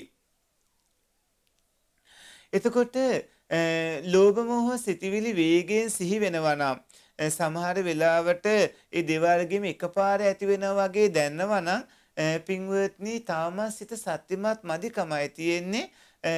ඔය ඇත්තෝ සිත සත්‍යමත් කරගන්නකොට මේ தත්ත්වයේ මග හැරලා යාවි. ඒ කියන්නේ ලෝභ මෝහ පිළිබඳ ලෝභ මෝහ සිතිවිලි වේගයෙන් සිහි වෙනවා නම් ඔය தත්ත්වයේ පින්වත්නි අඩු වෙලා යනවා. ඔය ඇත්තෝ දිගින් දිගට මේ කටයුත්ත කරද්දී ටිකක් වැඩි වශයෙන් භාවනා කරනකොට හිත හුරු වේවි කුසල අරමුණක් ඔස්සේම වැඩි වශයෙන් හිත පවත්වා ගන්නට මතක තබා ගන්න කාය කර්ම වාක් කර්ම මනෝ කර්ම තුන් ආකාරයටම ප්‍රයෝජනවත් වන හින්දා තුන් ආකාරයෙන්ම ප්‍රයෝජන ලබන්න පුළුවන් විදිහට කටයුතු කරගන්න.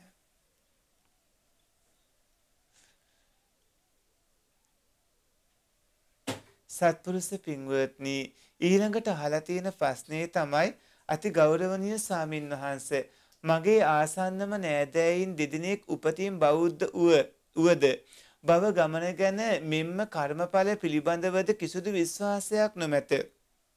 බෞද්ධාගමික පරිසරයක් තුළ හැදුණු මොවුන්ගෙන් එක්කයෙක් මම වෛද්‍ය රැකියාව තුළ ඊතා සද්භාවයෙන් රෝගීන්ට අතිවිශාල මෙහෙවරක් සිදු කරන අතර කිසිවිට මුදල් හඹා නොයයි.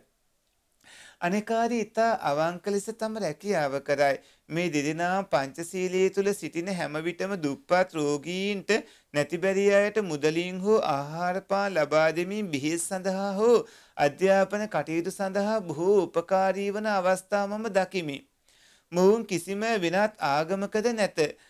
අන් අයට ඊතා කාරුණික මොවුන් දෙත්නා නිහඬවම කරන බොහෝ සත්කාරයන් අටමහා කුසල් තුල සෝමනස්ස සහගත ඥාන විප්පයුත්ත අසංකාරික හෝ සසංකාරික ලෙස මෙන්ම උපේක්ඛා සහගත ඥාන විප්පයුත්ත අසංකාරික හෝ සසංකාරික සිත් අතරට පැමිණෙනවාද? මට මේ දෙත්නාගේ සිතිවිලි වෙනස් කිරීමට නොහැකි වන්නේ මේ අය සමග සද්ධර්මයේ පිළිබඳ වාදයන්ට පැටලීම නිසා. ඒ අයට හැදෙන ද්වේෂ සිතිවිලි මග හැරිය යුතු බැවිනි. අප අතර එවැනි කතා පෙර සිදු වී ඇත. අති ගෞරවනීය සාමින් වහන්සේ විවිධ අදහස් ඇති භවගාමී සත්වයන් වන අප සෑම වෙත අනුකම්පාවෙන් පිළිතුරු දෙනු මැනවි. ඔබ වහන්සේට චිරජීවනයේ නිරෝගී සම්පන්නිය ලැබේවා කියලා.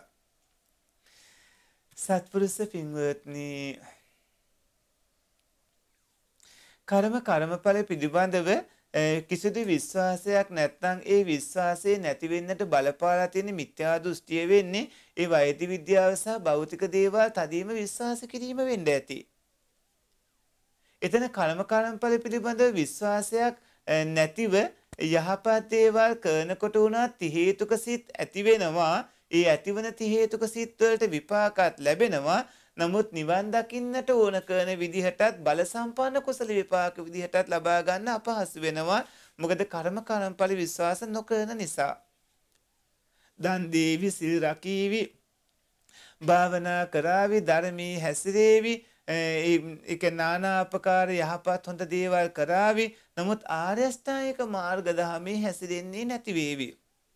නමුත් ඒ ඔවුන් හැසිරෙන ඔවුන් වැඩ කරන හැම වෙලාවකම ඇතිවෙන ඒති හේතුක උත්කෘෂ්ට ඕමක දිහේතුක උත්කෘෂ්ට ඕමක සිත්වල හැටියට ඒ ඒ ඇත්තන්ට විපාක ලැබෙනවා. දැන් බොහෝ විට හෝ වෙන්න හේතුව සමහර ධර්මය හරියටම විවෘත කරගන්න අවස්ථාවක් නොලැබීම නිසා වෙන්න ඇති. හොඳ දක්ෂ ගුරුවරයෙක්ට යොමු කරගත්තන ඔය තියෙන තත්ත්වය මාර්තනය කරගන්නක් පුළුවන් වීවි නමුත් පින්වත්නී සමහර අයට කාලයක් යනකොට නානාපකාර විදිහේ දෘෂ්ටි ස්ථානගත වෙනවා චිත්ත සංතතිවල එතකොට ඒ දෘෂ්ටි අනුව ඒ ඇත්ත හිතන්න පතන්න පෙළඹෙනවා. ඔවුන්ව මුදවන්නත් අමාරු වෙනවා. ඔවුන් මේ මේ මේ මේ දේ කළාම හොඳයි කියලා හිතනවා. හිතුවාට පින්වත්නි ඒ දේ කර්ම කර්මඵල පැත්තෙන් ගත්තාම ප්‍රබල දෙයක් වෙන්නේ නැහැ. ඊළඟට අහලා තියෙන ප්‍රශ්නේ තමයි තෙරුවන් සානෑ පින්වත් සාමින් වහන්ස. විකාල භෝජනා සිල්පදේ රැකීමේ ආනිසංස කවදීද? ඔබ වහන්සේට නිදුක් නිරෝගී සුව දීර්ඝායුෂ ලැබේවා කියලා. විකාලතා ආහාර නම් අච්චුහා නම් යෝගතා විමුත්තන්තං අකාලස්ස අංගානි චතුරුසියුම්. අකාලේ වීම ආහාරයක් වීම අනුභවයේ සඳහා ගැනීම ඒ අනුව ගැනීම. පින්වත්නි ඒ තමයි විකාල භෝජනා සිල්පදේ කැටනාංග. විකාලභෝජනා සිල්පදේ රැකීමෙන් ඔය ඇත්තන්ගේ තිනමිතේ මාර්තනය වෙලා යනවා. කාමාදී දුර්වල වෙලා යනවා. ඔය ඇත්තන්ගේ ප්‍රඥා සත්‍යය ප්‍රබල වෙලා යනවා. ඔය ඇත්තෝ හැකිතා සංසුන් වෙන්නට කටයුතු කරගන්නවා. විකාල භෝජනා සිල්පදේ නිසා ඔය ඇත්තන්ට විවිධ කායික අවශ්‍යතා ඇතිවන එක අවම වෙලා යනවා. පින්වත්නි විකාල භෝජනා සිල්පදය අනිවාර්යයෙන්ම රකින්න පුළුවන් නම් බොහෝ දෙනාට බොහෝ ප්‍රතිඵල ගන්න පුළුවන් නිදුක් නිරෝගී කමොත් කුසලයට කය සූදානම් කරගෙන තබා ගන්න පුළුවන් නිදිමත කාමාදී කාරණා අවම කරගන්න පුළුවන්. ඊළඟට අහලා තියෙන ප්‍රශ්නේ තමයි පින්වත් ස්වාමින් වහන්සේ අවසරයි. තුසිත දෙවියන් අතර මේ භවයේ කය බිඳී මානෙන් මතු ඉපදීමට නම් කුමක් කළ යුතුද? මේ භවයේ කුමන ආකාරයේ මිය ගියද එසේ දෙවියන් අතර ඉපදීමට කෙසේ සිත සකස් කරගත යුතුද? අපට කෙසේ වෙත සිතාගත නොහැකි දැක නැති දෙව්ලොව පිළිබඳ සිත පිහිටුවා ගන්නේ කෙසේද? දෙව්ලොව ඉපදීමට අවශ්‍ය ශ්‍රුතිය සමාධිය හා ප්‍රඥාව යනු කුමක්ද?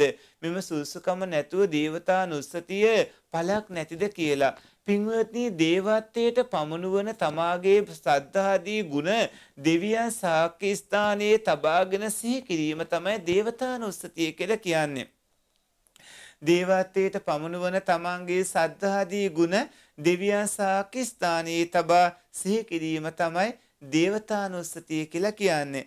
එතකොට පින්වත්නි දිව ලෝකවල උප්පත්තිය ලබනවා පැතුවත් නොපැතුවත් ඔය ඇත්තෝ ඒ අවශ්‍ය කරන කාරණා සිද්ධ කරගත්තොත් දිව ලෝකවල කොහොමත් උප්පත්තිය ලබනවා පැතුවත් නොපැතුවත් කුසල කර්මයේ හැසිරුණොතින් හැබැයි අරමුණු කරගෙන තිබ්බොත් ඒ අදාළ දිව ලෝකවල පහළ වෙන්න පුළුවන්කම ලැබේ. නමුත් පින්වත්නි දිව ලෝක කියන්නේ කෙටි ආයු කාලයක් ජීවත් වෙන ස්ථාන පමණයි. එතකොට දිව ලෝක වල හිත පිහිටුවා ගැනීම දේවතානුස්සතියෙන් කරගන්න පුළුවන්. නමුත් වඩා සෝසු දේ තමයි දිව්‍ය ලෝකවල හිත පිහිටුවා ගන්න නැතුව ඔය ඇත්තෝ නිවනේ හිත පිහිටුවාගෙන නිවන් දැකීම උදෙසා වෙහෙස මහන්සි වී කටයුතු කිරීම. එතකොට පින්වත්නි දිව්‍ය ලෝකවල කොහොමත් ඒකාන්තයෙන් උප්පත්තිය ලබනවා තමන්ගේ කුසලයේ තරමේ හැටියට.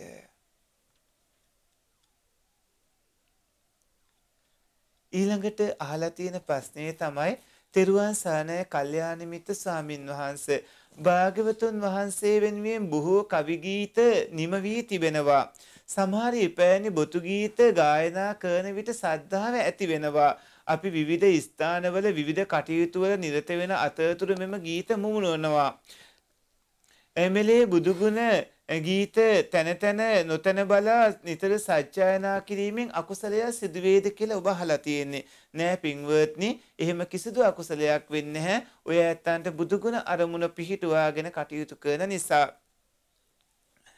එතකොට ඒකෙම අහලා තියෙනවා ආටානාටයේ ප්‍රීත නිතර සජ්ජායනයේ තුලින් වෙසමුණු රජු යටතේ සිටින ප්‍රබල අමනුෂ්‍යයින් කැළඹේ අසා තිබෙනවා. එම ප්‍රීත සවනය කිරීමෙන් නින්දට යාම නුසුදුස්ද ඔබ වහන්සේට චතුරාර්ය සත්‍ය ධර්මය මේ උතුම් ශාසනයේදීම අවබෝධ වේවා කියලා පින්වත්නි ආටානාට්‍ය ප්‍රීත නිතර සත්‍යයනා කිරීම වෙසමුණු රජු යටතේ සිටින ප්‍රබල අමනුෂ්‍යයන් කැළඹෙන හේතුවක් කලකුත් නෑ ඒක වැරදි. ආටනාට්‍ය ප්‍රීතෙන් ආරස්සාවයි සැලසෙන්නේ. නැත්තම් යක්ෂයෝ කලබල මේ මේ කලබලයට පත් කරලා අවුස්ස ගැනීමක් නෙමේ. එතකොට පීත සවනය කරමින් නින්දට යාම සුදුසුද කිසිදු වරදක් නැහැ. ඔය ඇයට පීත සවනය කරමින් නින්දට යන්න.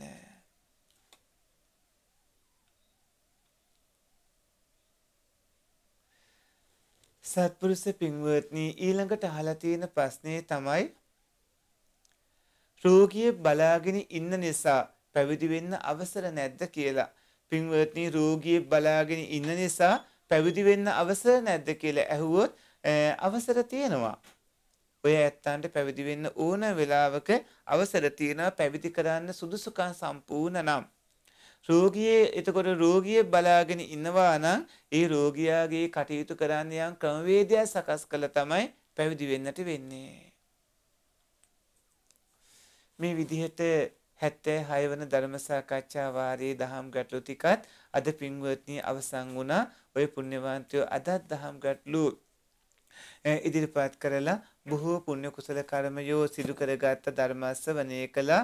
අද උදා වූ අලුත් අවුරුද්දේ පළමු දවසේ ඒ ජනවාරි පළවෙනිදා අද ධර්ම අද ධර්ම දේශනා සමග ඔබ මහණිය උතුම් පින්කම් රැස් කරගත්ත මේ සියලුම පුණ්‍ය කුසල සම්භාරය ඔබ නමින් මියගේ ඥාතීනට අනුමෝදන් වේවා. සිළු දෙවියෝ මේ පින් අනුමෝදන් වේවා. නිවන් දකින්න තීකාන්තේම මේ පින් හේතු සම්පාත්ම වේවා. මේ වැඩසටහන සඳහා ඊතා විහෙස වී කටයුතු කරන අපේ අපරැකේ පඤ්ඤාසර පොඩි හාමුදුරුව මාතර දමිත පොඩි හාමුදුරුව ජයලාල් ප්‍රේමසිංහ මැතිදුම් මැතිණිය දූ දරුවන් ඒ වාගේම සත්පුරුෂ ඔබ හැම දිනාටම නිදුක් නිරෝගී දීර්ඝායුෂ පිණසම හේතු වේවා. උතුම් චතුරාර්ය සත්‍ය අවබෝධයම ලැබේවා. අභිවාදන සීලීස නිච්ඡං වද්දාපචායිනෝ චත්තාරු ධම්මා වඩ්ඩಂತಿ ආයුවන්නු සුකම් බලං ආයුරාරෝග්‍ය සම්පatti සග්ග සම්පatti මේවච අතෝ නිබ්බාන සම්පatti ඉමිනාති සමිච්ඡතු හැම දිනාටම තෙරුවන් සරණයි.